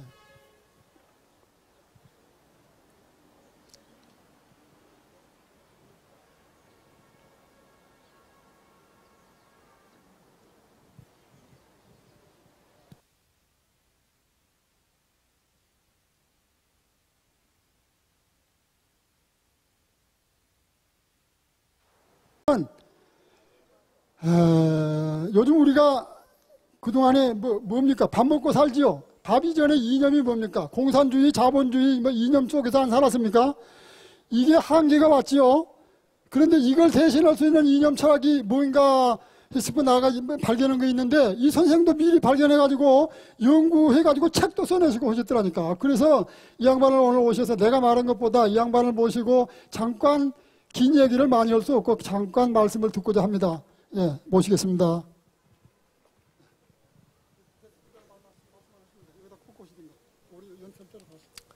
아, 안녕하십니까. 날씨도 무더운데 또 자리도 불편하고 참 긴 시간 고생이 많으십니다. 여러분 뵙게 돼서 아주 영광스럽고 또 저보고 한 말 좀 해달라 이렇게 부탁을 하시니까 제가 그동안 30년 동안 연구한 거 짧은 시간에 대략 올리겠습니다. 여기 저 깃발을 보니까 안민보국은 공기중화다. 또 세계평화는 역시 중화다. 이 중화를 강조했어요. 저는 중화에다가 사상이라는 걸 붙여가지고 30년이 넘는 세월을 오로지 그 방면으로만 연구를 해 왔습니다. 그런데 아까 이 저 이 대회장님, 저 원광 대회장님이 혹시 오해하실까 염려가 돼서 저한테 글을 한 장 써주시더라고요. 이거를 보여드리라고 여러분한테 오해 없으시게. 이게 바로 이 중화라고 하는 것은 가운데 중자 화화자인데 지금 중국의 그 중화민국 하는 그 중화가 아닙니다. 혹시 오해하실까봐 아마 이 글을 써주셨습니다. 저한테. 이 화화자입니다.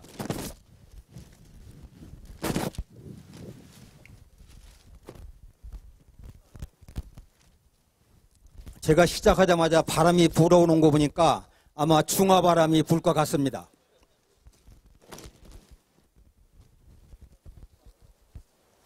이 중화라고 하는 말은 사서 삼경 중의 중용이라는 책에 이미 있습니다.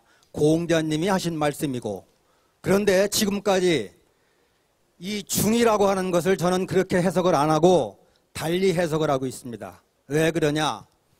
이 중이 어느 것이 중이냐? 우리가 중을 기대로 모르기 때문에 우리 생활이 왔다 갔다 합니다. 한마디로 얘기해서.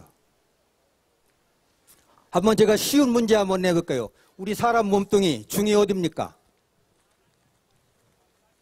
어디가 중입니까?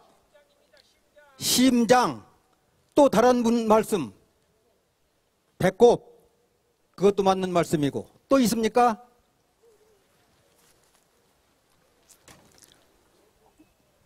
저는 이 중이라는 것이 그냥 온 것이 아니고 이 우주에서부터 온 겁니다. 그럼 우주의 중은 어딥니까? 우리는 지금 태양계의 지구라고 하는 이 땅덩어리에 살고 있습니다.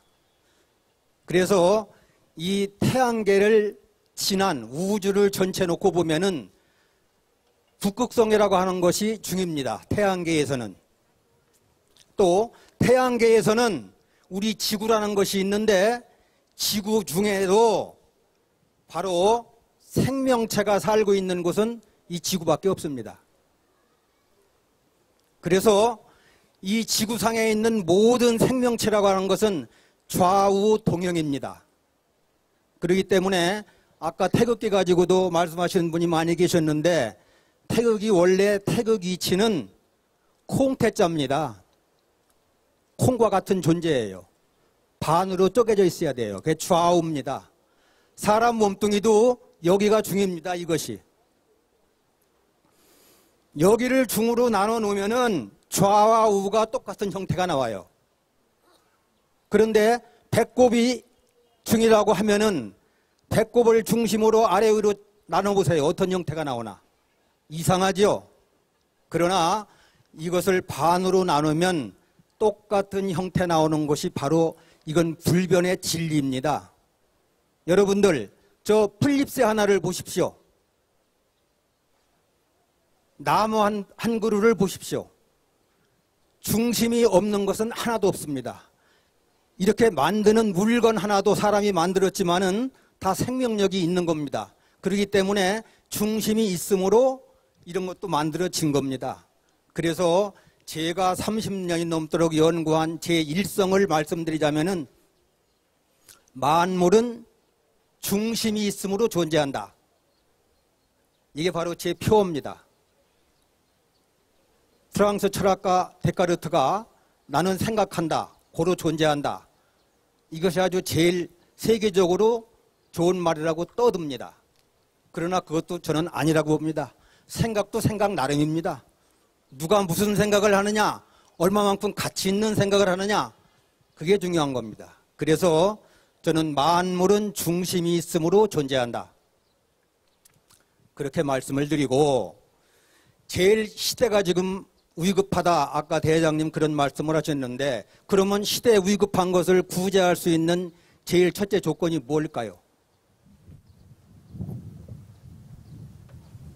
저는 가장 시급한 것이 시대 정신이라고 하는 것은 바로 이 불신 풍조를 타파해야 됩니다. 지금 믿을 게 있습니까?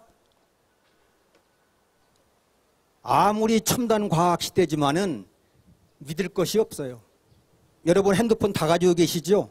거기에 수 없는 문자가 오고 무슨 뉴스가 뜹니다. 지나놓고 보니까 맞는 거 몇 개 있어요? 전부 거짓입니다. 사람도 다 거짓이에요. 왜 그러냐? 중심이 없기 때문에 그래요. 중심을 지켜야 됩니다. 그러면 중심이 뭐냐?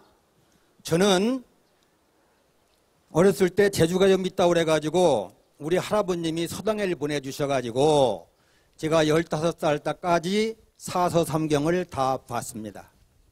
그래 주역이라는 걸 책을 읽어보니까 그게 바로 음양학이에요. 요즘 따지면 마이너스 플러스 전기, 전자학입니다. 주역이.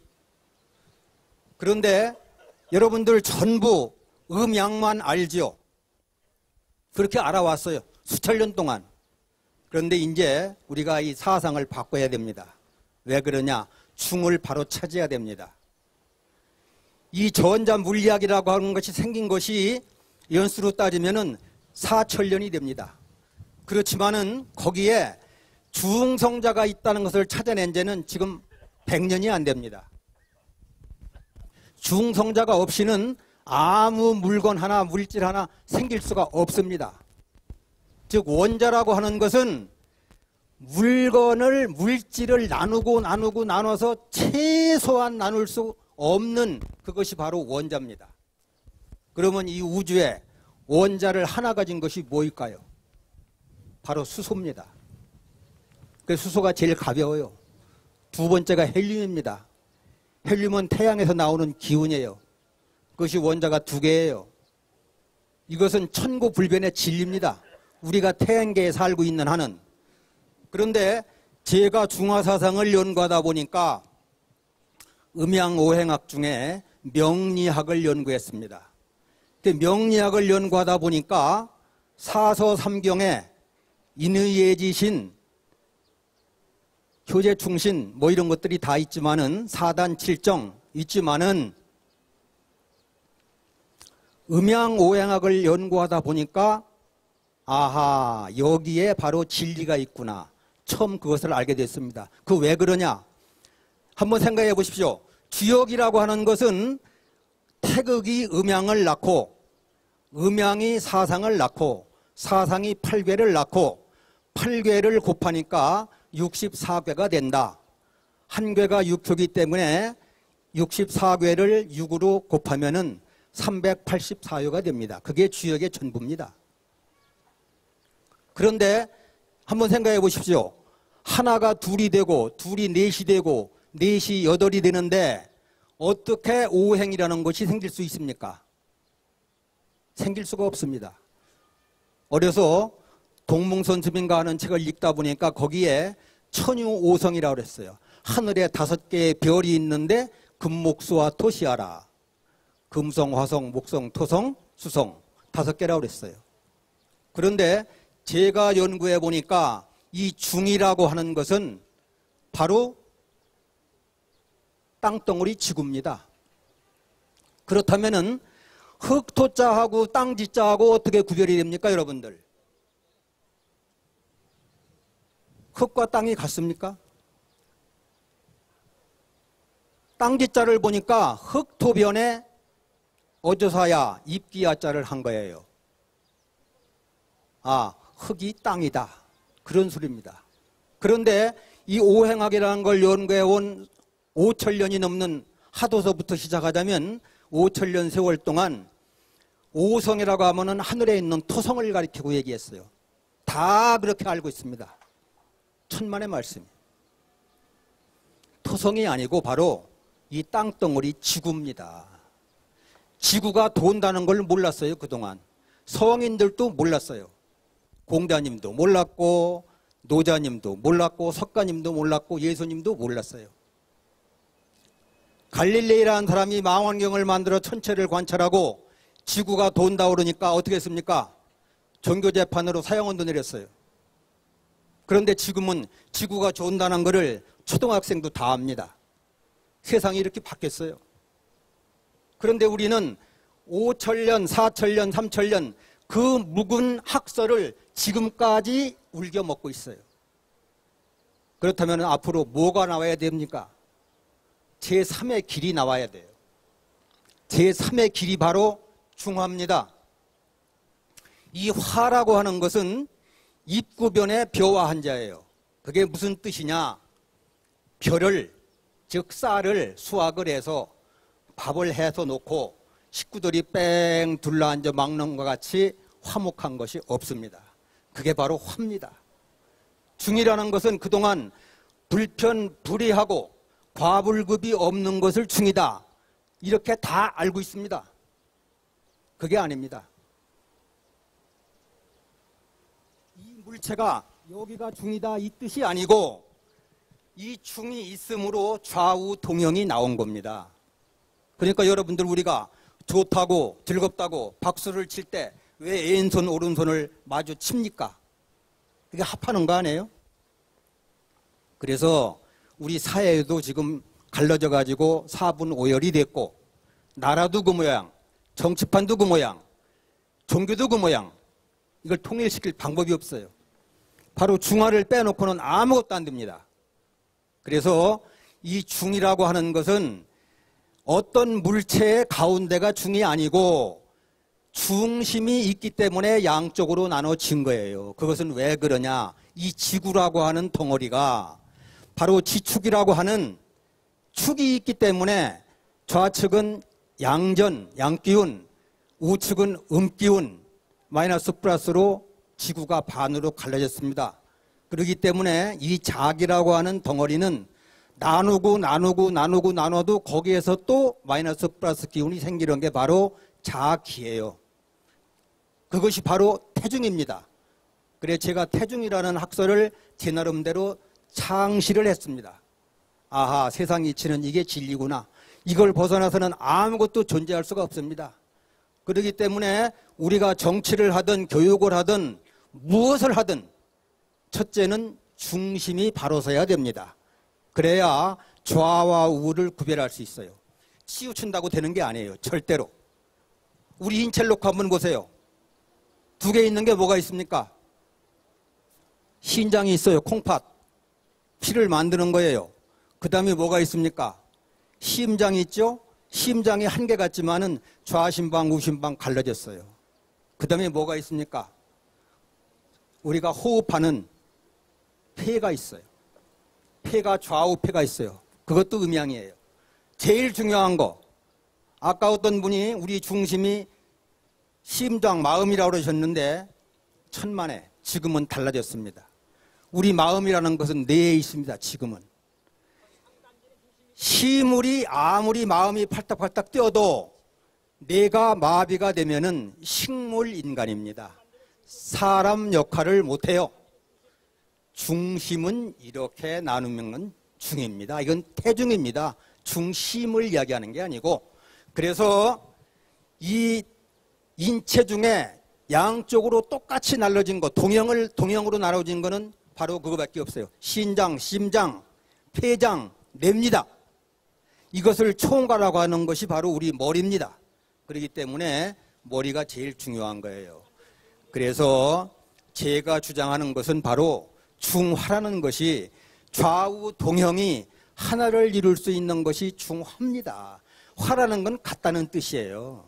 그러니까 우리가 태중이 있으므로 태중을 똑똑히 알 수 있으므로 중화를 이룰 수 있는 겁니다.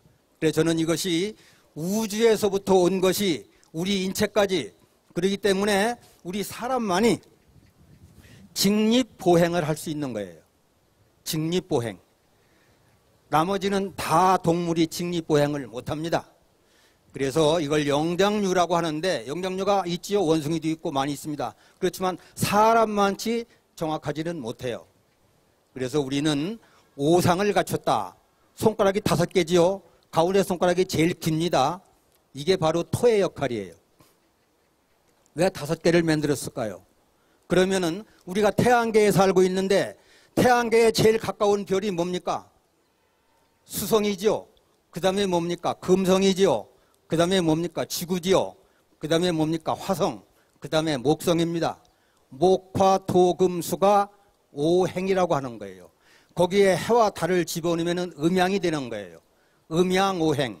달이라고 하는 것은 지구에서 떨어져 나왔다. 과학자들이 그러는데 천만의 말씀이에요. 달이 하나의 지구의 위성이지만은 이 우주에는 태양계에는 아직까지는 지구의 땅덩어리 밖에는 생명체가 없어요. 그럼 왜 그럴까요? 지구에 바로 달이라고 하는 위성이 있기 때문에 지구에만 생명체가 있습니다. 달이 있기 때문에 지구에만 물이라고 하는 것이 존재하는 거예요. 물이 없으면 아무것도 생길 수가 없어요. 그러니까 달은 바로 우리 생명체를 존재하게 만드는 근원이다. 전 그렇게 생각을 합니다. 그래서 제가 드릴 말씀은 너무너무 많지만은 중화 정신, 오늘 여기서 이 중화, 모든 것을 모든 다 같이 중화로 돌아가자. 이것이 너무 제목이 좋고, 그래서 제가 짧은 시간에 다 일일이 말씀드릴 수 없고, 제 간단한 말씀 이것으로 줄이겠습니다. 감사합니다. 수고하셨습니다. 다음 주 오 선생. 이 양반은 통일에 대해서 마- 부단히 몇십 년간 연구하셨답니다. 통일하면 저도 뭐 누구보다도 뒤지고 싶지 않는데 오늘은 내가 아, 그, 저기 아, 주최하는 사람이니까 제 말은 줄이고 저는 A4 용지 반 장짜리가 있어요. 그런데 그건 줄이고 이 선생이 단연간 연구해 오셨으니까 이 양반을 통해서 한번 통일에 관한 얘기를 듣겠습니다. 이 양반은 저 대전서 오셨어요. 아까 부산서 제일 멀리 오신 양반 부산서 오셨는데 그 양반 가셨는가 모르겠네. 아무튼 이렇게 먼지 원근 각지에서 와주셔서 아무튼 감사드리고 예. 안녕하십니까. 에, 저는 에, 대전에서 올라왔습니다. 아, 제가 하고 있는 일은 세계 평화통일 연구소입니다. 제가 이제 세계평화틀 연구소를 국가에 등록을 했더니요. 어느 분이 하는 얘기가 우리나라 남북 통일도 아직 이루지 못했는데 무슨 세계평화틀 연구소를 라고 이름을 줬느냐 그 저한테 질문하시더라고요. 아, 너무나 의미가 있는 얘기를 하시기에 처음에는 제가 망설였습니다. 그래서 제가 대답하기를 우리나라는 남북 통일만 돼도 안 됩니다. 우리가 분단되기 전에 900번 이상이라는 예침을 당했습니다. 여러분들 다 아시죠? 그런데 앞으로 우리가 통일이 되더라도 또 예침당하지 말라는 보장이 없지 않습니까? 그러니까 우리가 영원히 통일이 되려면은 세계 평화가 돼야 된다는 것을 제가 생각해 가서 세계 평화틀 연구소라 그렇게 답변을 드렸더니 아이고 이해가 간다고 딴 데 가서 아주 그, 그 훌륭하다고 또, 또 칭찬까지 해주시더라고요.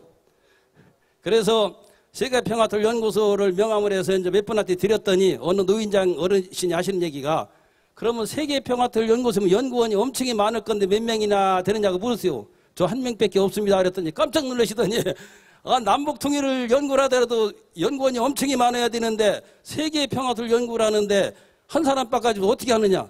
아니, 한 사람도 많습니다. 그랬더니 아, 뭔 얘기냐고 또 다시 묻으신 게 더 이상한 얘기를 하니까 선생님, 선생님 지금까지 살아오시면서 세계 평화 통일에 대해서 연구했다는 연구원 나왔다 소리 한 번 들어보셨습니까? 물었더니 한 번도 못 들어봤다는 거예요. 어, 그래 지금이라도 한 사람 나와서 많은 게 아닙니까?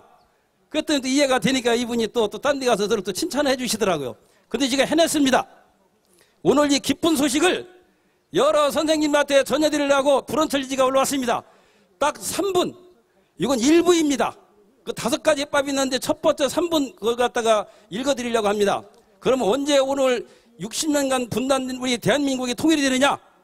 금년부터 통일이 된다고 했습니다. 탄호 스님도 그랬고 비결에도 이렇게 여러 개 밝혔는데 금년이 정유년입니다. 60갑자에 장딱해가 들어온 애가 금년입니다. 장딱만이 새벽을 알릴 수가 있습니다.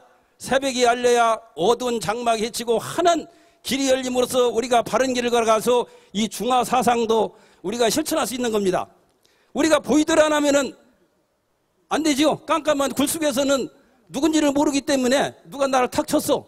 아, 쳤는데 안 보이니까 아, 그 적군이 친절하고 막 뒤집어 싸워서 몇 시간 싸우다 불을 켜고 보니까 부자지간에 형제지간에 싸운 거예요. 안 보이니까.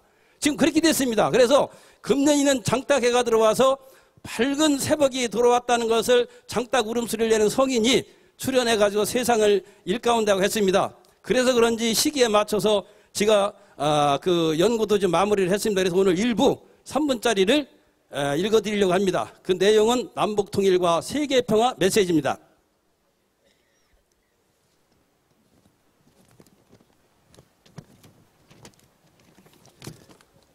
남북 통일과 세계 평화 메시지. 남북 통일과 세계 평화를 이룩하는 길은 제일 먼저 세계 70억 인구 모두는 천지 부모의 한 가족이라는 사실을 하루빨리 깨닫는 것입니다. 그 이유는 한 가족으로 이루어진 아군끼리는 절대로 전쟁을 아니하기 때문입니다. 그러면 세계 70억 인구는 아군인가 적군인가? 이 점을 먼저 살펴보기로 하겠습니다. 현재 세계 70억 인구 모두는 지구의 한 어머니 품에서 함께 태어나 하늘의 아버지가 주시는 공기와 지구의 어머니가 주시는 곡식으로 살아가고 있습니다. 이 점이 지구는 한 가정이 되고 이웃은 별나라가 되는 것입니다.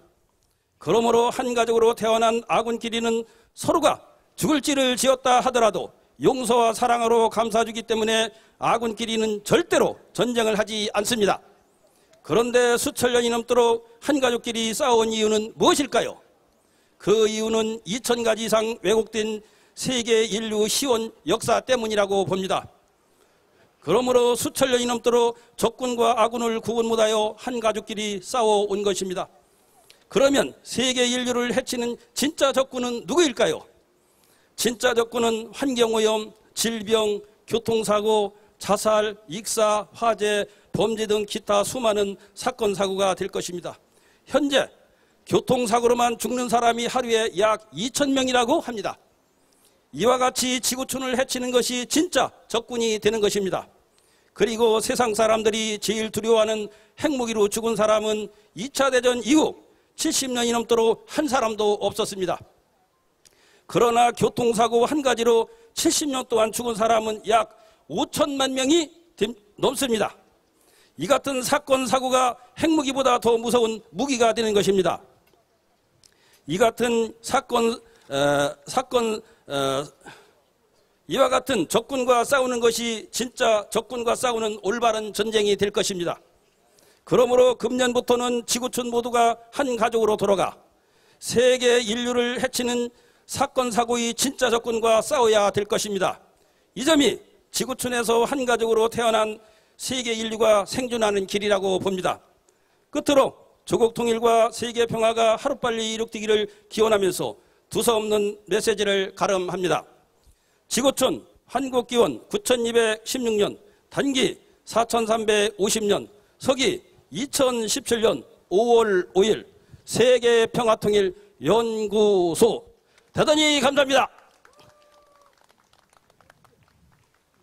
오셨습니다. 아, 앞으로 이제 한 시간 남았습니다. 한 시간 남았는데 에, 대도 대덕들 모시고 정말로 그 사자후 같은 말씀을 듣고자 아, 하고 하려고 지금 현재 시간이 한 시간 남았네요. 근데 대도 대덕들이 다 시간이 또 많은 저 경과돼서 그런가 더워, 더워서 그런지 내 눈앞에 하나도 안 보입니다. 그러니 이제 임시 방편으로 할 수 있는 것이 가까운 데부터 우선 저 챙겨야 되겠습니다. 그리고 이제 내가 손들라면 손들어서 하세요. 잉? 우선 관선 선생님 한 말씀만 하십시오. 한두 말씀만 하세요. 뭐이 양반은 길게 하시라면 하루 종일도 하시는데 길게 하면 안 되고 예, 몇 마디만 듣겠습니다. 이 양반은 저 어, 충북 보은에서 은거하고 계신 대도인입니다. 한 말씀 들어주시, 들어주시기 바랍니다. 안녕하세요. 저는 관승 박준희라고 합니다. 이렇게 더운 날씨에도 많은 분들이 구군을 걱정해서 찾아와 주셔서 감사합니다. 저는 아직까지 구군을 걱정할 정도로 위인이 못 됩니다. 이 나라를 제대로 살피려 그러면 세계 전반적인 모든 정세를 두루 다 알아야만이 나라가 어떻게 될 것인가를 알 수가 있는데 저는 그런 위인이 못 돼서 정말 세계를 한눈에 바라보고 모든 백성들을 편안하고 화평하게 살 수 있는 그런 인물이 나타난다면 제가 가지고 있는 조그만 재주라도 힘껏 보태려고 하고 있습니다. 자, 감사합니다. 이상 마치겠습니다.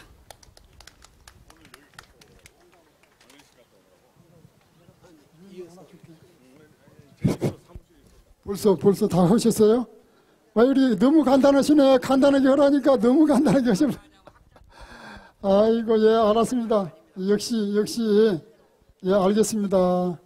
다음에는 뭐 태중 예 와, 와서 말씀하세요.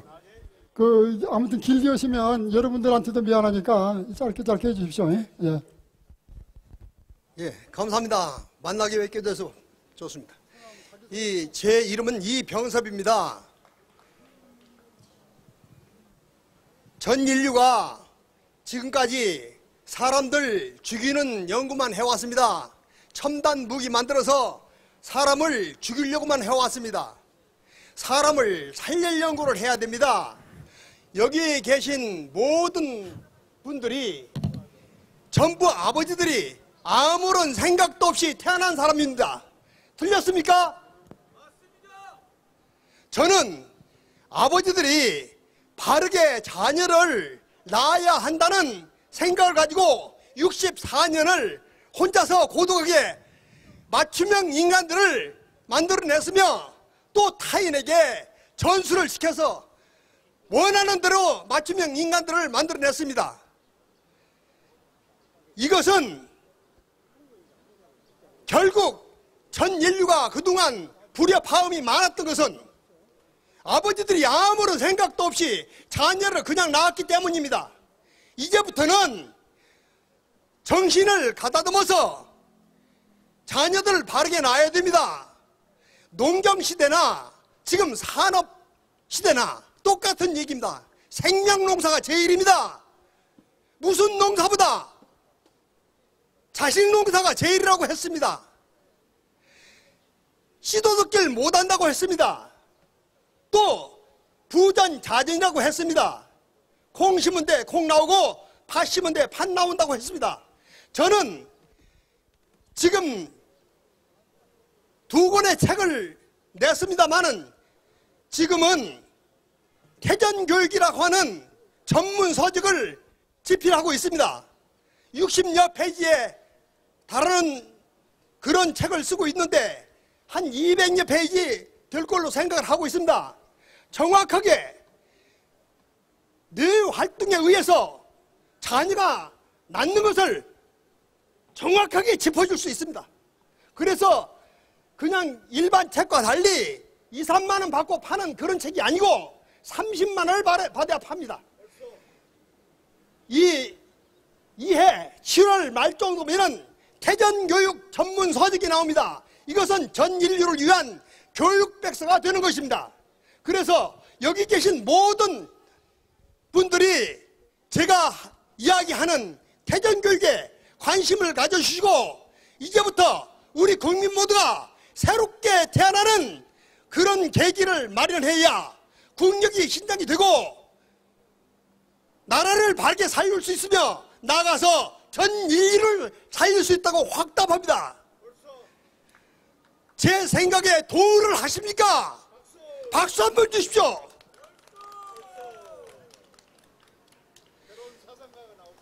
전 인류가 그동안에 아무런 생각도 없이 자녀를 낳기 때문에 전쟁의 소용돌이 속에서 갈팡질팡 지금도 질서가 안 잡혀 있습니다. 그러나 이렇게 해서 태어난 아이들이 다섯 명인데 큰 아이는 마흔여덟이고 작은 아이는 마흔세 살입니다. 그리고 그 전수시켜서 태어난 아이는 여섯 살이고 또 두 살짜리가 두 명 있습니다. 원하는 대로 태어납니다. 천사가 태어납니다. 부처 이상, 예수 이상이 태어납니다. 얘들은 어려서부터 울고 짜증 부리는 일이 없습니다. 만주국이 태어났는데 왜 웁니까? 왜 짜증을 부립니까? 이렇게 해서 신성이 태어나는 겁니다. 그래서 모두 다 후천 시대에는 아버지들이 정확히 생각을 해서 자녀들 낳아야 후천 평화로운 세상 또 행복한 세상을 이룩할 수 있습니다. 모두 다 자녀들에게 이 학문을 제 책을 구입해서 이 학문을 누구나 다 가정에 보관하고 전 인류가 새롭게 태어나는 그런 날이 오기를 간절히 바랍니다. 이상입니다.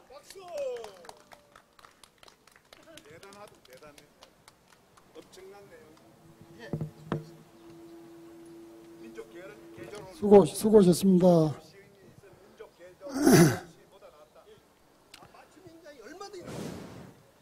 수고하셨어요. 근데 대도 대덕들이 전부 다 숨을 쉬어버렸어요. 날씨 탓인지 시간이 지루해서 그런지 다 내 눈에 안 아직 시- 신청한 양반들 15명도 넘는데. 다 안 보여요. 자, 좌중에서 누가 하실 양반 있으시면 손 들고 나와서 말씀하세요. 없으면 마칠랍니다. 그런데 선생님, 아, 오시면 말씀 기회는 드리되 청중을 생각하셔서 간단히 하십시오. 아 그리고 간단히 하셔야 돼. 저 선생님 하실까요? 가만 있어봐, 가만 있어봐. 조금 있다, 조금 있다.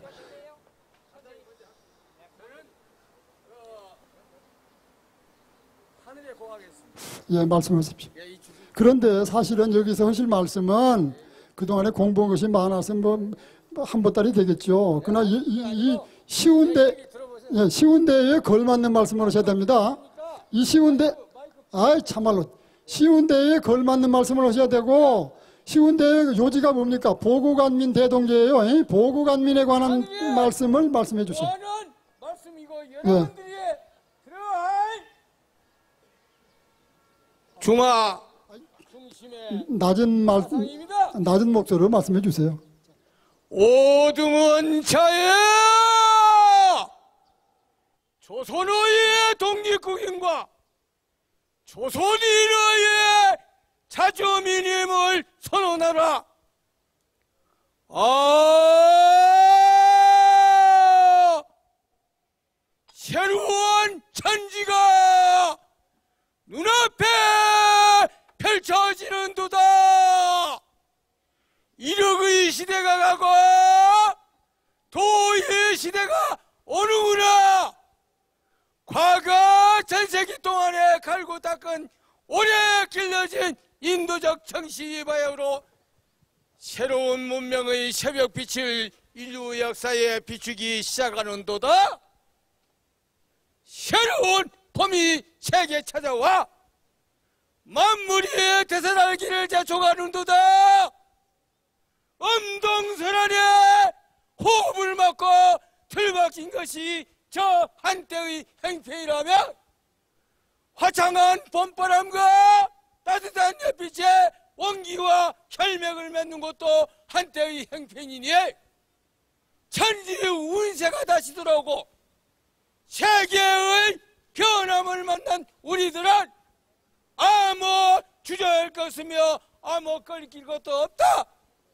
우리가 원래 가진 자유권을 완전히 보호하여 삶의 완성한 낙을 드릴 것이며 우리의 풍족한 독창력을 발휘하여 봄이 가득한 전 세계에 우리의 문화를 영원히 맺을지로다. 우리들이 이에 분함의 기운을 내어 힘차게 일어난다. 양심이 우리와 함께 있으며 진리가 우리와 함께 나가는 도다. 남녀노소 없이 어둡고 답답한 옛 집에서 활발히 일어나 삼남만상으로 더불어 새로운 삶의 즐거움을 다시 이루가게 되는도다. 천백 조상님께서 우리를 하나 도와주시며 전 세계 기운이 우리들을 밖으로 보완하니 작수가 곧 성공이라. 다만 앞에 보이는 밝은 빛으로 박차고 나갈 따름인 타 공약 3자 1. 금일 5일의 차근을 정의 인도 생존 천역을 위하는 민족적 요구이니 오죽 자유적 정신을 발휘할 것이요 결코 배타적 감정을 일조하지 마라 1. 최후일까지 최후일까지 민족의 정당한 의사를 개의 발표하라 일제의 행동은 가장 질서를 존중하여 오인의 주장과 태도를 하여금 어디까지든지 강명 정대하게 하라 대한민국 만세 만세 만세 수고하셨습니다. 감사합니다. 역시 이곳이 이곳이 유서 깊은 곳 아닙니까? 여기, 여기 대각사도 있고 김희독립 삼일 독립운동을 여기서 시작했다고 하지 않습니까? 여기가 유서 깊은 곳이라 제가 장소를 여기다 여기다 택했습니다만은 오늘 저는 아까 저, 저 선생님께서 김희독립 선언문을 일부 낭독해 주셨는데 이 자리가 그 자리입니다. 그 저는 그건 과거 이제 78년 전, 90년 전 얘기고 지금은 지금은 남북 통일 문제가 안 걸려 있습니까? 그래서 나는 평화 통일 선언문을 작성을 해가지고 누구 보고 이걸 읽으라고 했는데 가버렸어요. 없어, 없어 지금 없어. 그래서 제가 대독을 하랍니다. 지금 잠깐 읽어드릴 테니까 들어주시기 바랍니다. 목소리는 좋지 않아도 다 들어주세요. 통일 독립 선언문. 우리는 자주적 민족 도의로 남북을 통일하고 천연적 이론 원칙으로 세계를 평화할 것을 선언한다. 여기에는 정당도, 종교도, 사회도, 국가도 이론이 따로 없을 수, 없을, 있을 수 없을 것임을 엄숙히 천명하는 바입니다. 단군 성조께서 홍익기념으로 이 나라를 창업 수통하신 이래 천신이 보호하사 삼재가 기한하고 금수강산 창원하며 명철인이 끊이지 아니하여 예의문명이 찬란하였으며 인심 또한 순화하여 만방이 일컬러 예의지국이라 대찬했던 바라 자손만대의 기업을 점지하셨던 것이다. 그럼에도 오늘의 우리는 역사적으로 수많은 격, 북치를 겪어야만 했다. 때로는 동족 간의 편당으로 인하여 때로는 외세의 침입에 의하여 형은 못할 극한적인 비운을 그렇죠? 바로 이 점은 바로 이 같은 상황은 끝나지 않았습니다. 지금에도 계속되고 있다. 전 세계 또한 이 같은 현상에 지나지 않고 있다 할 것이다. 이 점은 우리 후손들이 선왕선조 이념 철학을 충실히 이어받들지 못한 때문이요. 천리를 망각한 소이이다. 그 이념이야말로 동서고금이 다를 바 없으니 이는 천지일월 대자연의 법칙에 준함이라 만세 불역의 법이요 도이다. 이러므로 지구상의 전인류는 이 법도를 알지 못하면 천부의 성을 잃게 되어 상생의 도가 아닌 상극의 방법으로 삶을 도모하게 되나니 과학의 이기 문명이 인간 철학의 정신 문명을 말살하게 되므로 아무리 연구해도 폐색만 날로 심하고 아무리 숭상해도 환란만 더욱 심하며 아무리 수고해도 허망만 야기하게 되는니다. 힘에는 힘으로 대립하는 논리가 저 가공할 핵무기를 낳기에 이르렀다. 바로 이 핵 앞에 직면한 세계 파멸의 위기, 과연 이 위기를 어떻게 할 것인가? 이에 대처하려는 움직임은 세계 도처에서 준동하고 있죠. 무엇은 뭐 육자회담이니 자꾸 뭐 했었죠. 그러나 아직은 연못구어지우를 면하지 못하고 있다. 연못구어 아시죠? 고기를 잡으려면 바다로 가야 하는데 산에 가서 구하고 있어. 지금 뭐 육자회담 뭐, 뭐 아무튼 핵무기 전부 다 그런 식이에요. 미안하지만 그렇습니다. 전 세계 인류는 이와 같은 평화, 평화를 아니 아니 어딥니까? 연못구어지우를 면하지 못하고 있을 뿐이다. 천도는 내왕부절이라 만사의 흥망성쇠의 이치가 있으니 무가 극에 달하면 유를 낳고 유가 극에 달하면 무로 돌아가는 천측을 이어찌 실행하지 못하고 현존에만 급급하고 있단 말인가. 이런 천측을 준수함으로써의 평화가 진정한 평화인 것입니다. 전 세계 인류는 이와 같은 평화를 구현하기 위하여 현존의 극에서 극단적인 극에서 이런 천측의 원점으로 조속히 규율하여야 가능하다. 정신과 육체가 쌍전하여야 완전한 인간이 성립되듯이 철학과 과학이 병행하여야 원만한 완전한 평화통일 즉 대동세계를 이루게 되는 것이다. 이때는 분명히 20세기의 서양 과학 문명만 가지고는 세계 평화를 실현하지 못한다. 절대 안 됩니다. 44세기 단기로 말한 겁니다. 44세기 동양 도덕 문명으로 만국 평화를 이룰 때입니다. 우리는 만고 불변의 천칙으로 인도 평화를 이룩하여 선왕의 인정, 선조의 문화, 선각의 명감을 계승 발전하는 데 매진할 따릅니다. 이러므로 우리는 세 가지 선언이 있습니다. 첫째, 우리나라의 자주 통일을 선언한다. 외쳐주실랍니까? 우리나라의 자주 통일을 선언한다. 선언한다. 둘째, 확고한 자주 독립을 선언한다. 선언한다. 셋째, 자주문화 창달을 선언한다. 선언한다. 예, 이상입니다. 저기 예, 선언 대표 손정규 외 53, 이게 55명의 명단으로 발표되는 건데 오늘 편의상 한 사- 손정규 이름만 발표하고 54명의 이름은 추후에 나중에 발표할 때가 있을 겁니다. 이거 시기상조라 아직 저기 명단은 다 확보됐는데 발표를 미룹니다. 그리고 대, 대덕은 김수현 아가씨가 있어 아주 멋진 아가씨가 있어서 목소리도 좋고 해서 자기가 자청했어요. 누구를 시킬까 고민 중인데 자청해 자기가 한다고. 아, 그런데 와보니까 가불고 없네. 아까 왔었는데 아, 다른 약속이 있는 것 같습니다. 아, 그러니 오늘 그래 제가 목소리도 안준 채가 대독을 했습니다. 미안합니다. 그리고 예, 우리 선생 한 말씀 하시려고 짧게 하셔. 그리고 이 다음에 저 지리산 창학동의 이웃 마을에 내가 가장 사랑하는 이 도령이 하나 있어요. 이 나라에 도령이 많은데 도령 중에서는 최고의 도령이야. 이 도령 나중에 와서 짧게 한마디만 해요. 한마디만. 아주 온 차비가 아깝잖아. 자, 한 말씀만 하시죠. 자, 연설 아주 멋있지요. 우리 서영탁 선생님이 안민복을 말씀 오셨어요. 그 자체를 이루려면은 사람으로 시작해서 사람으로 끝나니까 소우주 인간 빗사람 완성체로 오신 여기 있는 분들의 대표 우리 태전 이병석 선생님이 이미 그 답을 가져오셨고 그리고 바로 98년 전에 3.1절 독립선언이 우리 천손의 그 근본 인류 평화 세계를 이루가는 우리 주인들의 그 내용이에요. 그래서 오늘 우리 서영탁 선생님을 중심으로 해서 33인의 우리 소년들의 그 뜻을 받들어서 그 맥을 이어가기 위해서 우리가 만난 것입니다. 우리나라의 국시가 바로 홍익이념이며 만년 전에 있었던 홍익국가이기 때문에 그러합니다. 이제 만년이 다 되었기 때문에 여기에 있는 분들이 이 뜻을 받들어서 정확하게 우리나라 하늘나라의 본체를 밝혀가야 하는 것입니다. 그래서 정확하게 우리는 인간 빗사람으로 와서 홍익 인간 뒷사람 광명세기를 열어야 하는 것이 오늘 우리가 이렇게 만난 것이에요. 그래서 저는 여기에 우리 명사 신앙기 선생님을 비롯해서 아까 여기에 94세로 도인의 가장 모범인 이람 강희목 선생님을 중심으로 해 333명, 33명 오늘 여기에 10명의 윤리 스승이 될 분까지 다 모시고 왔어요.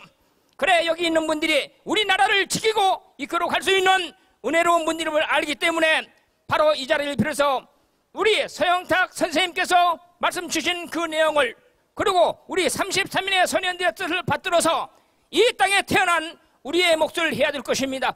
그래서 가장 높은 자리에 있는 분을 내려놓았고 그러면서도 이 내용을 우리가 공동으로 만들었기 때문에 이걸 풀어서 바로 사랑으로 섭리로 마무리를 하기 위해서 우리가 만난 이 과정이니 땡겨서 대선을 치르는 것은 올해 정유년 불닭의 해에 이러한 섭리로 살지 않으면 닭 죽듯 다 죽게 되어 있은 게 이 내용 때문에 저는 50년 동안 이 준비만 해온 사람이에요. 그리고 17년 동안 아무것도 않고 여기에 오늘 오신 주인공들을 찾아서 왔는데 오늘 이 자리에서 이런 말씀을 드리게 된 것이 하늘아버지의 뜻이라고 생각하고 이 영광을 그분께 돌립니다. 모두 함께 우리나라를 살려서 하늘의 뜻대로 하늘에서 이룬 것처럼 이 땅에서 이루어 가시기를 축원합니다. 감사합니다. 좋은 시간들 되세요. 고맙습니다. 우리 무궁하신 우리 무궁하신 선생님 감사합니다. 참 애쓰셨습니다. 우리 명사 선생님 참으로 애쓰셨어요. 저기 아니 아니 좀 이따 저기 저, 저 태극기 노래는 조금 이따 합니다. 저 이도령 멀리 오셨지만 나오세요. 이리 한번 한 말씀 해. 이리 와봐. 나오고 손 한 번 잡고 가야지. 손만 잡고 가 그러면. 어느 와요 어느 시간 없어. 아 지리산서 여기까지 왔는데 차비도 비, 저 비싸고. 아 그런데 저 좋은 옷 입고 왔구만 저. 나보다도 저도 더더운 옷 입고 왔네. 아 이저 예 예. 아 저렇게 좋은 옷 입고 왔으면서 안, 안 말을 안 하려고 그래. 예, 예, 어서 오시. 예, 이, 이 양반은 이, 이 양반은 길게 하면 못해. 짧게 하면 잘하신 양반이야. 예. 네. 한 말씀만 하라고 해서 한 말씀만 하겠습니다. 어, 기운 자체에 관련된 게 아주 가득 차 있는 것 같습니다. 그죠? 어, 기라는 게 한자로 표현을 하니까 여기 계신 모든 분들이 똘똘 뭉친 것 같은 그런 기분인 것 같고요. 두 번째는 기도라는 이두 글자가 생각이 납니다. 세 번째는 모든 분들이 간절한 그런 간절함 자체가 생각이 나고 네 번째는 직업 정성입니다. 그러니까 직업 정성을 끝으로 곱고 이쁜 그런 시간들 되셨으면 합니다. 감사합니다. 감사합니다. 감사합니다. 예, 가만히 있어, 가만히 있어봐, 가만히 있어. 저기 어, 중화 선생님 호를 중화로 쓰고 계신 분이 계세요. 강종일 박사님 어디 계십니까? 세시 반, 세시 반이면 오신다고 했는데 강종일 박사님, 곽태환 교수님 안, 안 오셨어요? 몇 시에 지금? 아 그러면 세시 반에 오신다고 해서 아, 아직 안 오셨구만. 그러면 그러면 곽태환 교수님 이 양반들은 통일을 통일을 말도 못하게 연구한 분들이고 중화 선생 안 계십니까? 강종일 박사님 안 계시 아, 아직 가셨나요? 안 오셨나요? 그러면 그러면 이로 잠깐 오세요. 예? 강종일 박사 어디 계셔? 어디? 강종일 박사님 어디 계셔? 요 오늘 나오세요 참말로. 거기 계시면서도. 예 오셨네요. 어서 오십시오 어서 오십시오. 어서 오십시오. 이 양반이 늙은 말년에 절- 정치학 박사를 하셨는데 아무튼 이 양반이 주- 호를 중화로 쓰시고 계시고 잠깐 소개 드리면 중화를 호- 호를 쓰고 계시길래 어떻게 해서 호를 쓰- 그렇게 쓰냐고 했더니 장가를 갔는데요 빈장 어른이 이름 두 글자를 대서 시를 지어줬는데 중화대종의 창생의 귀일이란 시를 써주셨어요. 그 무슨 무슨 뜻이냐면 중화라는 큰 종소리에 이 모든 창생들이 다 와본다. 이런 얘기를 써줬대요. 장가 갔는데 그때는 근데 뭘 몰라서 그냥 그냥 접어뒀대요. 50년 후에 여- 여- 최근에 와서 열어보니까 중화, 중화가 좋더란 얘기예요. 그래서 양반이 중화를 많이 연구하고 계시, 계시는데 내가 보니까 이, 이 양반, 이 빈장이 보통 양반이 아니에요. 그래서 내가 물어봤어요. 빈장이 어떤 양반이냐고. 그랬더니 천재였대. 천재 소년이었는데 15세 무렵에 사서삼경을 다 배워불고 외정 때예요. 다 배워불고 아 여기서 시대가 이렇게 변화돼 갖고 사서삼경을 풀어먹을 수가 없다 싶어 갖고 양반이 일본을 밀항을 타고 가고 일본을 가고 뭐 동경대전가 어딘가 어디 대학을 나오셨어. 그래갖고 일본 놈 시절에 가장 들어가기 어렵다는 어떤 회사를 들어가서 그렇게 잘 계시다가 광복을 받고 그런 양반인데 그 양반이 철학이 있는, 있는 분이더라니까. 이 중화대종의 창생의 규율이요. 이 양반 함자가 시- 세복종자 한일자 종일인데 종일 두 글자에다 그 시를 글, 글자 여섯 자를 붙여갖고 시를 졌는데 아주 그 명시해요. 그래서 그, 저, 그 빈장이 아주 저 아무튼 훌륭한 분이라고 내가 얘기하고 이 양반을 존경한데 아무튼 오늘 오시라니까 잘 오셨습니다. 바쁜 양반인데 오셨네요. 한 말씀 해주십시오. 이 선생님한테 내가 부탁드린 게 있어요. 호를 중화로 쓰고 있길래 내가 어느 날 수행하고 보니까 자본주의, 공산주의를 대신할 수 있는 이념 철학이 딱이 없어요. 그런데 중화인 것 같아. 강렬하게 내가 그런 느낌을 받았어요. 그래서 우리나라에 홍익 이념도 있는데 이 중화가 되느냐 하고 가만히 내가 되물어 봤더니 아니다. 주- 홍익 인간도 중화 속에 들어있다라고 이런 말씀을 내가 메시지를 받았는데 이 양반도 그런 말씀을 하셔서 그러면 선생하고 내가 언제 한번 올라와서 뭐 따졌다니까요. 중화? 이해가 갑니까? 이 양반도 고개를 끄덕여요. 그래서 그러면 선생하고 나하고는 중화 두 글자만 가지고도 이해가 되지만 이 대한민국 국민 저 지구촌 7천만 인- 인들에게 이게 이해를 시키려면 이론이 필요하지 않습니까? 그 이론을 좀, 저 공산주의 이론이 좋으니까 뭐 모든 사람들이 지식인이 전부 다 빨리 들었다며. 그렇듯이 선생님께서 이론, 이 중화에 대한 이론을 잘 쓰시면 요것 가지고 세계 인류 70억 인구를 먹여 살릴 수 있습니다. 그러니까 선생님 쓰실랍니까? 쓰실랍니까? 한게 양반이 쓰신다고 그래요. 쓰신다고 나게. 내 주변에 그 유명한 그, 그 학자들이 많고 한문 신학을 겸한 학수가 많아요. 학자가 많아요. 그 친구가 쓰면 잘 쓰겠다 싶어서 여, 쓰라고 하니까 못 쓴대. 왜못 쓰냐 하니까 너 한문 실력이 없냐? 신학을 안 배웠냐? 하니까 뭐다 하는데 왜 신구를 겸했는데 왜 못했냐고 하니까 못하냐고 하길래 왜 못하냐고 하니까 이 사람이 뭐라고 하냐면 야 그 중화가 좋긴 좋다. 좋은데 그건 혁명적인 사상가나 쓰지. 혁명적인 사상가나 쓰지. 나는 학자라 못 쓴다고 그래. 근데 이 양반은 학자인데도 쓰실 수 있대요 써보십시오. 한번 말씀하십시오. 예, 예, 예. 강종일 박사님입니다 예, 영세 중립국으로 영세 중립국으로 남북 남북 통일을 이룬다고 고, 이, 어, 연구를 많이 하신 분이. 네, 감사합니다. 제, 제가 오늘 너무 긴 소개를 받았습니다. 저도 아까 최국봉 선생께서 말씀하신 바와 같이 중화를 연구를 하고 있습니다. 그래서 아까 우리 저 왕광 선생 이야기했습니다마는 제 저기 호를 그냥 중화로 했기 때문에 그래서 자꾸 한 몇 년 동안을 와서 나한테 졸랐어요. 제가 그간에 그간에도 중화를 공부하고 있는데 중화란 것은 간단하면서도 오묘합니다. 시대적으로 보면 중용이 나오기 천년 전에 중화 사상이 나왔습니다. 그러면 중화에 아까 우리 최 선생님이 이야기했습니다만은 제가 조금만 부연하면은 이 우주에 존재하는 것들은 멈추지를 않습니다. 존재하는 것은 변하고 변해야 존재한다. 이것이 대우주의 원리입니다. 그러면 어떤 상태냐? 그렇게 나갈 수 있는 최적화, 요새 컴퓨터, 컴퓨터 용어로 최적화 상태가 우리가 중화라고 합니다. 그래서 아마 그 우리 원광 선생 그 요구로 아마 금년 말에나 그 탈고가 되겠습니다. 문제는 과거의 사람들이 중화를 설명하는데 중용역을 가지고 설명을 했습니다. 그래서 틀렸어요. 중용은 뭐냐? 희로애락을 기초로 해서 설명하는데 그걸 가지고 중화를 설명하니까 천년 전에 나왔던 사상이 마저 떨어지질 않습니다. 그래서 아까 제가 최국봉 선생님하고 이야기를 했습니다만 둘이 의견이 일치가 되었어요. 정말 그렇더라. 그래서 저는 현재 하고 있는 것은 스위스가 어떤 나라입니까? 영세 중립국이지요. 그래서 한반도가 과거에 아까 어떤 선생님께서 940번을 침략을 받았다고 말씀하신 맞습니다. 491회예요. 정확하게는.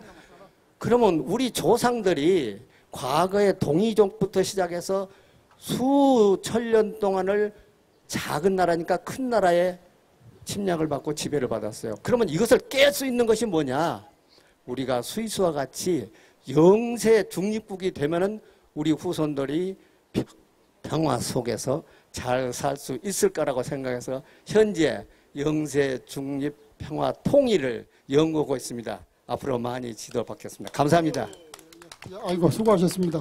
내가 아까 소개를 영세 중립을 소개를 안 했네요. 저 우리 저 장영선 여사 아까 여기 제전의식 말미에 천부경 봉독이 하게 되어 있는데 제가 두서 없어갖고 미처 빼먹었습니다. 그랬더니 지금이라도 하신다고 해서 천부경 봉독을 하랍니다. 예, 수고하십시오.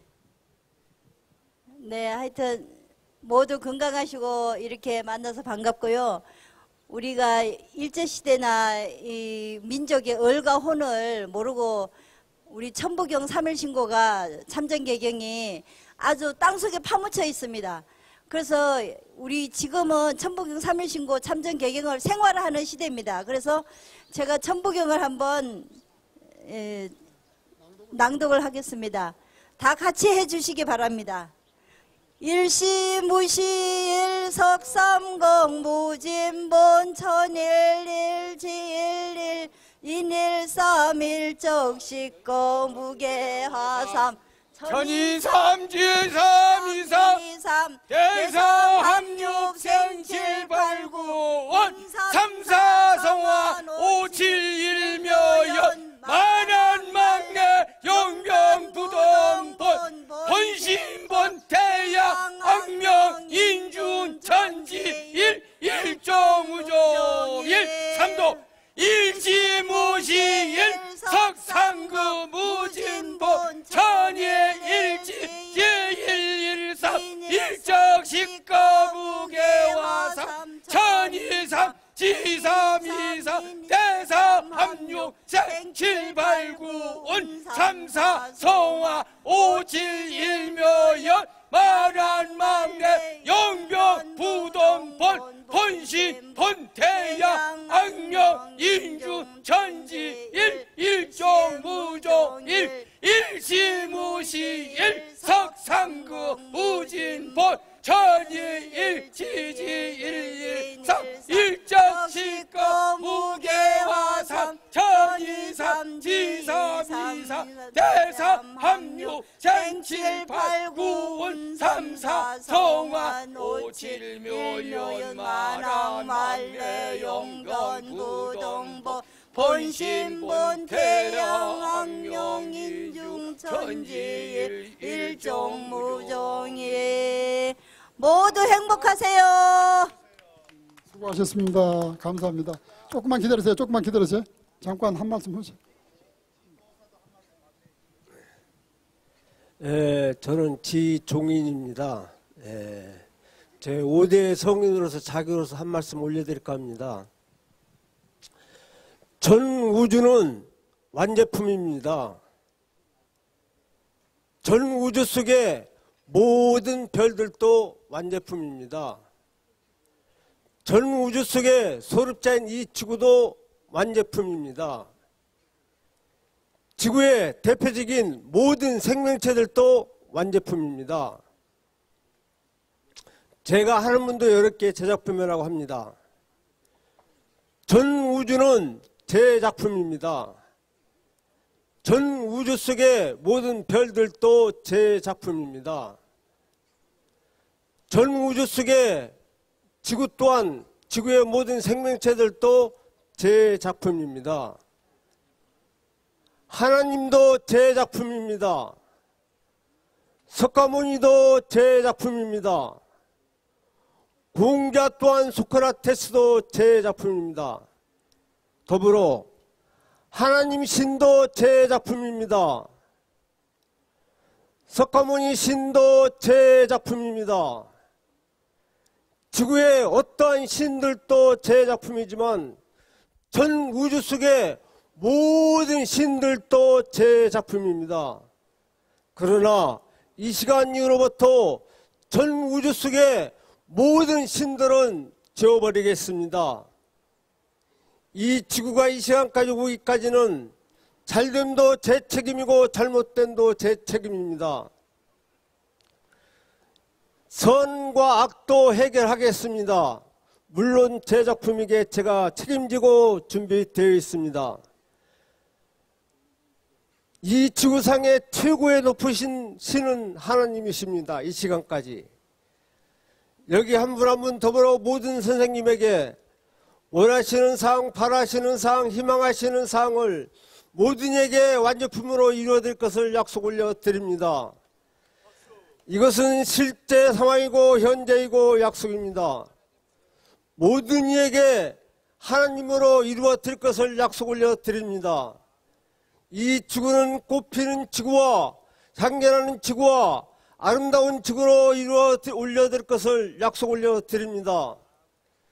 더불어 이것은 실제 상황이고 현재이고 저만이 약속입니다.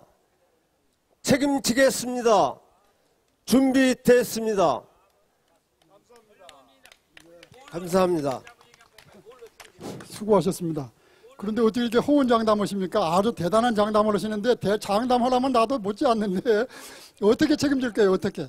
책임, 책임질 수 없는 말은 아, 못해야 돼, 안 해야 돼. 근데 책, 어떻게 책임져? 해봐. 원하시는 것, 바라시는 것, 희망하시는 것을 그때그때마다 이루어드리고 누가 이뤄줘? 누가 이뤄? 선생이 이뤄줘? 제가요.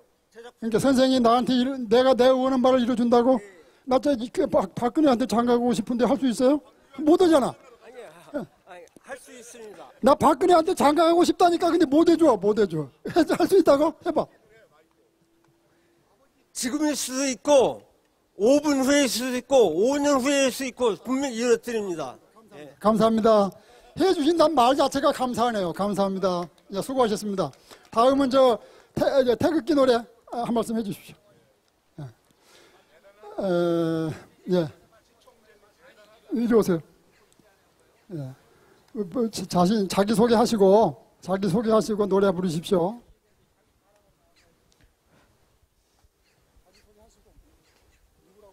감히 부끄러운 에, 무궁화 시인이라는 직함을 가지고 시와 노래로 민족의 혼을 찾고 깨우고 있습니다. 예, 어르신들한테 위로와 힘이 될지 모르겠습니다. 애국 애국가를 많이 부릅니다. 그런데 제가 지금 하고 싶은 건 옛날 애국가 곡 있죠? 거기다가 가사는 즉흥으로 엮겠습니다.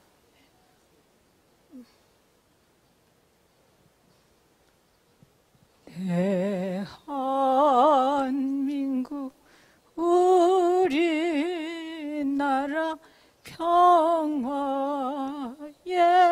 통일. 이 시대에 문을 여는 무궁화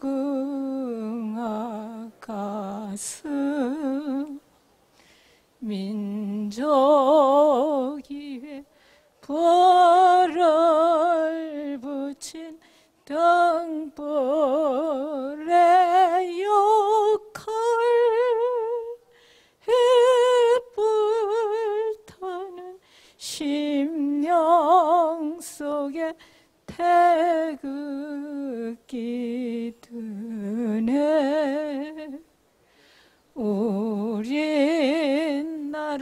조선 땅에 뿌리를 찾아 지도 그릴 남북 통일 선민이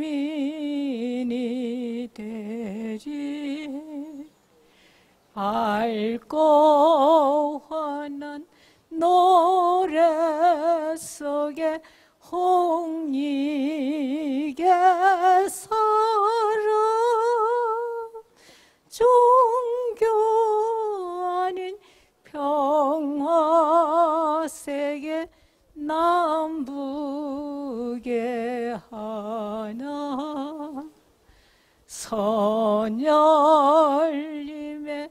혼이 서린 삼일 문에서 시대여는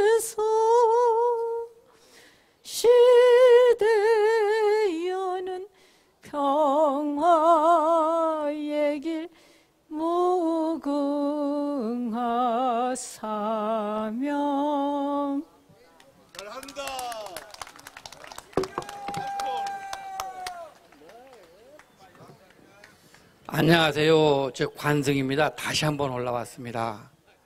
오늘 이 자리를 원강 서영탁 군장님께서 오랜 시간 동안 준비해서 온 자리입니다. 근데 여기에서 서영탁 군장님이 준비했던 그 생각과 비슷한 얘기들을 하고 시국을 어떻게 해야지만이 바로잡을 수 있을 것인가에 대한 대안은 하나도 하지 않고 나 이런 사람이야! 하면서 자기 자랑만 하는 사람들 뿐이었어요. 저도 재주가 대단히 많은 사람입니다.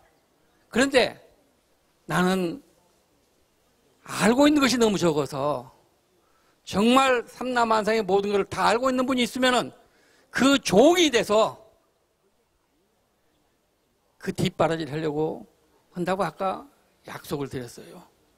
지금이라도 특별한 그런 생각을 가지시고 계신 분이 있으시면은 나오셔서 한 말씀 해주시면은 제가 기꺼이 그분의 종이 되도록 하겠습니다. 감사합니다. 예, 감사합니다. 감사합니다. 이, 이 양반이 이런 양반이에요. 대개, 대개, 대도 대덕들 보면 자기가 최고라고 하는데, 이 양반도 옛날에는 한때는 최고인 줄 알았대요. 근데 조금 더 공부해 보니까 아니라, 아니더랍니다. 근데 당신을 아신 분이, 자신을 아닌, 분- 아신 분이 돼가지고, 이제 누가 최고가 될 양반이 있으면 돕는다는 분이라니까. 이 양반 위해서 박수 한번 쳐주세요. 대개 이렇게 만나보면 다 훌륭해요. 다 훌륭하고 다 구슬이라면 구슬이고 보배라면 보배인데 다 자기가 최고야. 물론 최고지요. 훌륭은 다 개개인으로 보면 다 최고입니다만은 내가 나 혼자 살면 내가 최고지만 나 보- 주변에 얼마나 이 많은 사람들이 있는데 내가 긴다면 뛰는 사람도 있고 뛴다면 나는 사람이 있어요. 그런데 대개 도인들 만나보면 다 쥐가 최고라고 그래. 그런데 이 양반은 그런 양반이 아니야. 정말로 금방 말씀 들으셨죠? 그런 분입니다.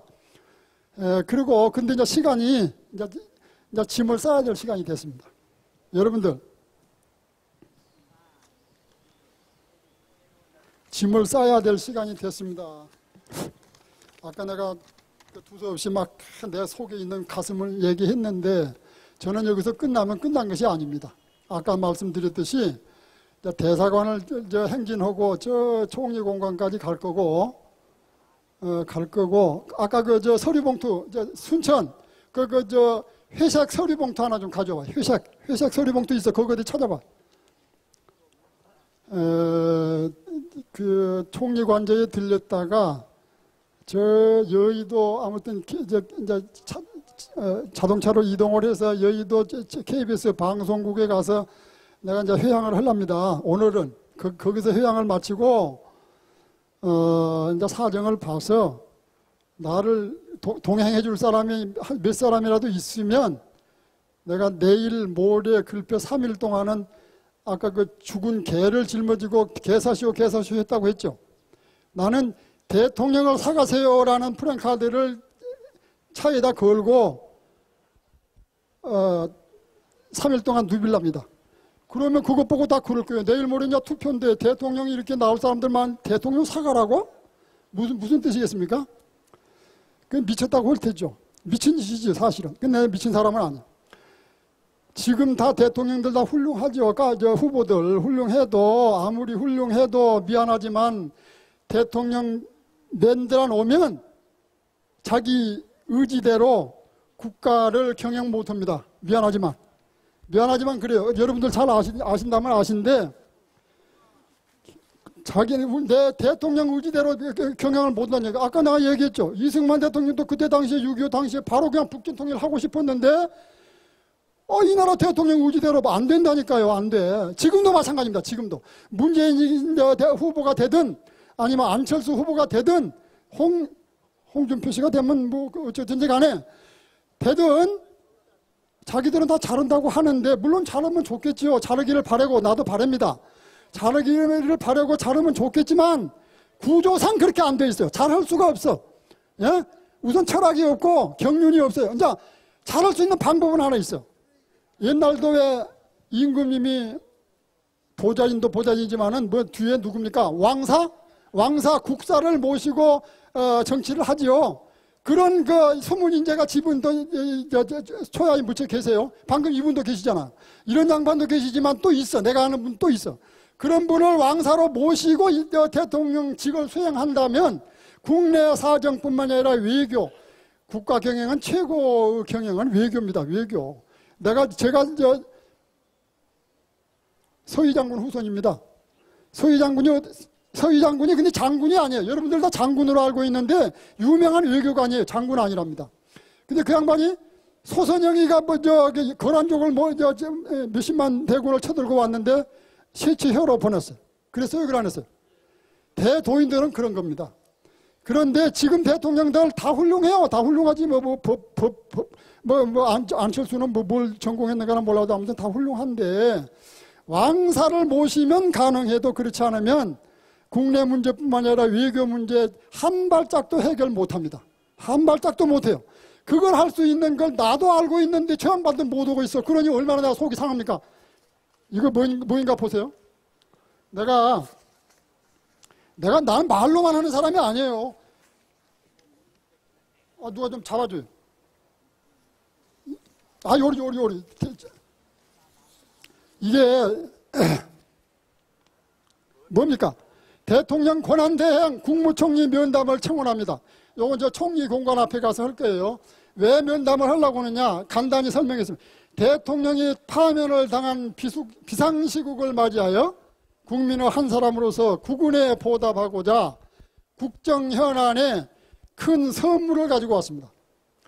그러니 청하 이제 만나 주십시오. 자 그런 내용입니다. 근데 요 내용을 옛날에 에, 노무현 대통령 시절에 그 남북하고 통하고 있잖아요. 그때 만나면 돼. 그래서 이제 노무현 대통령 시절에 한명숙 씨가 총리 시절에 총리 공관에 가서 한명숙 씨저 총리 만나달라고 한 번 했었어요.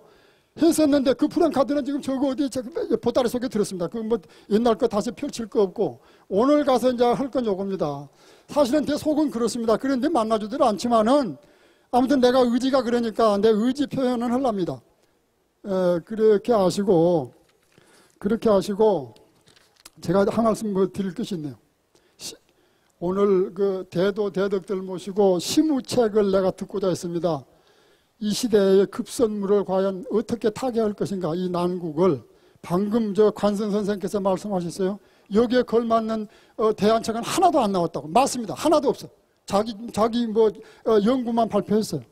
그런데 정말로 뭐이겠습니까? 내가 그 신무책은 간단히 일포용지 반장짜리 준비해 왔습니다. 나 읽어보 읽어봐 드릴게 참고로 하십시오. 이 나라를 어떻게 하면 과연 어느 지도자가 어떻게 하면 국민 통합을 이루고 분단도 극복해서 세계 평화에 기여할 수 있겠습니까? 난 문제는 간단하다고 생각합니다. 1. 절대 선의 경지에 이르지 않고서는 그 어떤 힘으로도 한 시대를 바로잡을 수 없다. 안철수, 뭐 문재인 씨, 뭐 홍준표 씨, 뭐 다 기라성 같이 나와가지고 다 자기가 잘할 수 있겠다고 하는데 아이고 몰라 기대는 하죠. 그러나 절대 선의 경지에 안 간 분들이에요. 그분들 전부 다. 절대 선의 경지에 간 사람만이 이 시대를 한 시대를 언제고 지금이고 내, 내세고 미래고 뭐 과거고 간에 절대 선의 경지에 이른 사람만이 한 시대를 바로잡을 수 있습니다. 그리고 두 번째, 이 세상에서 합법화 될 수 있는 유일한 경쟁은 요즘 경쟁 사회 아닙니까? 그런데 이게 살기 위한 경쟁이에요. 에? 근데 그런 건 그런 경쟁은 안 하면 좋고 소모 소모죠. 소모된 경쟁이고 정말로 경쟁해도 좋을수록 경쟁할수록 좋은 거 하나 있습니다. 그게 뭔지 아십니까? 진리를 위한 경쟁입니다. 진리. 진리를 잘 우리가 파악하면 아까 태극기 거꾸로 달아놓으니까 뭐 이걸 시비한 사람이 있었는데 이게 거꾸로가 아닙니다. 이게 이게 옳은 겁니다. 여태까지는 그게 맞았고 35년 전부터 바뀌었어요. 우주 환경의 시간대가 바뀌었다는 걸 말씀드린 거예요. 이게 35년 전부터 바뀌었는데 아직도 모르고 있어. 나는 진리 탐구를 할 만큼 하고 해서 이걸 내가 확실히 아, 확실하니까 내가 이걸 여러분들한테 발표하는 것이지 긴가뭔가 해갖고는 발표하라고도 못해요. 그래서 이 진리에 대한 경쟁을 나한테 와서 누가 도전한다면 얼마든지 내가 그 양반 모시고 어, 밤낮을 세고라도 할 수 있고 할 수 있습니다. 내가 언변은 부족해도 진리는 핵심은 간단해요. 뭐 길게운 거 아니에요. 또 하나 국가 번영과 민족 안위를 위한 거부를 내딛는 운동 뭐겠습니까? 요즘 대통합이 대, 저기 화두, 화두인데 불신 풍조가 너무 지금 심하죠. 이걸 불식해야 되고 지역 감정도 해소해야 된다는데 해소 안 되죠. 도덕성 회복해야 된다고 다 얘기합니다. 뜻 있는 양반들은 근데 회복이 안 돼요. 또 의식혁명 좋죠. 의식혁명 하자고 싸우다 사람들이. 근데 대안이 없어요. 별로 어, 뾰족한 수가 없어요. 또 정통성 확립 그렇죠. 어느 누구나 개인도 그렇고 사회 단체도 그렇고 국가도 그렇고 정통성이 확립이 돼야 힘을 받는데 정통성이 결여된 사람은 아무리 대통령을 뽑아놔도 힘이 안 돼요. 힘을 받지를 못해. 국민들한테 불신을 받으면 하루아침에 저 파면 당해야 돼. 예? 정통성이 확립돼야 된다는 걸 다 누구나 다 외치고 있지만 이게 안 됩니다. 이거 한 다섯 가지 되는데 이거 일거에 할 수 있는 길이 있어요. 근데 이거 못 옵니다. 또 사족을 단다면 이렇습니다. 대화합, 대신뢰, 대희생, 대탕평, 대연정, 대개혁 이런 거 다 얘기합니다. 이, 이러한 새 다리를 낳는 대장부가 있어야 되는데 그 대장부들이 어디가 있는지 모르겠습니다. 그 대장부들이 나와서 뭘 하느냐? 저 하늘에 저 있는 저 7월 7성날 만나는 그 소설 얘기하죠. 견우직녀가 1년에 한 번 만나야 된다고 하지 않습니까? 은하, 은하강이 가로놓여서 못 만나. 그런데 1년에 한 번 만나도 그것도 까마고 까치가 7월 7성날 올라가 가지고 소위 말하는 대가리를 박아요. 대가리 박으면 그 머리를 어, 바, 딛고 어, 어, 가, 은하강을 건너서 견우직녀가 만난답니다. 마찬가지로 그와 같은 희생을 할 수 있는 희생정신을 가질 수 있는 그런 대장부가 있으면 있으면 나는 거기에 선두에 설 겁니다. 있으면 바로 그 이, 이, 이 오작교를 놓는 일을 해서 정말로 극적으로 이 시대를 정말로 좋은 세상을 기적을 연출할 수 있습니다. 있는데 그런 대장부 그런 그 나오고 또 저, 길을 같이 갈 수 있는 동반자 있으면 내가 이 시간 이후에 이제 어, 행, 할 겁니다. 저 그저 총리 공간을 지나서 아니 아니 아니. 어, 어, 저, 저 광화문 앞에 누구 있죠? 그 저 저 저 미국 대사관을 지나서 거기 공휴일이라만 문 닫았을 겁니다만은 메시지는 진작 전달했어요 내가. 일단 거기 갔다가 수위가 있으면 다시 한번 전달하고 총리 공간에 가서 그렇게 하고 여의도에 가서 마칠랍니다. 그리고 상황 봐서 정말로 내가 미친 짓을 한번 하고 하면서 하면서 죽은 개, 개 사라고 하듯이 나도 대통령을 사가세요라는 저, 저, 저, 저, 저 프랑카드를 지금 제작해 가지고 왔어요. 그걸 가지고 차에다 걸고 3일 동안 내가 어, 누빌 것인가 말 것인가는 저녁에 자면서 좀 생각을 해보랍니다. 나를 동반한 자가 동행해 준 사람이 있으면 할, 할 거예요. 한 사람도 동행자가 없으면 나 혼자도 할 수 있어요. 뭐 기사가 뭐 운전하고 나 혼자 할 수 있는데 혼자 해갖고는 별 효과가 없죠. 효과가 있든 말았든 나 혼자 하려면 하든가 아니면 같이 동행자가 있으면 더욱 좋고 아까 저 아무튼 그렇게 할 겁니다. 그렇게 하시고 어, 은근 간에 가까운 거리도 가까운 거리지만 마음이 없으면 못 오고 먼, 먼 데서 역시 또한 마음이 없으면 옵니까?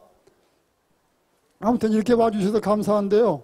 또 시간이 너무 오래되니까 간, 간 도인들은 대덕 대, 대, 대도는 다 가셨구만. 에, 그랬는데 아무튼 남아 계신 분들도 다 대도 대덕입니다. 아무튼 예, 예. 아무튼 에, 오신 걸음 자, 에, 귀한 걸음 감사하고요. 가신 걸음 평탄하게 잘 가시기 바랍니다. 예, 이상입니다. 예, 예.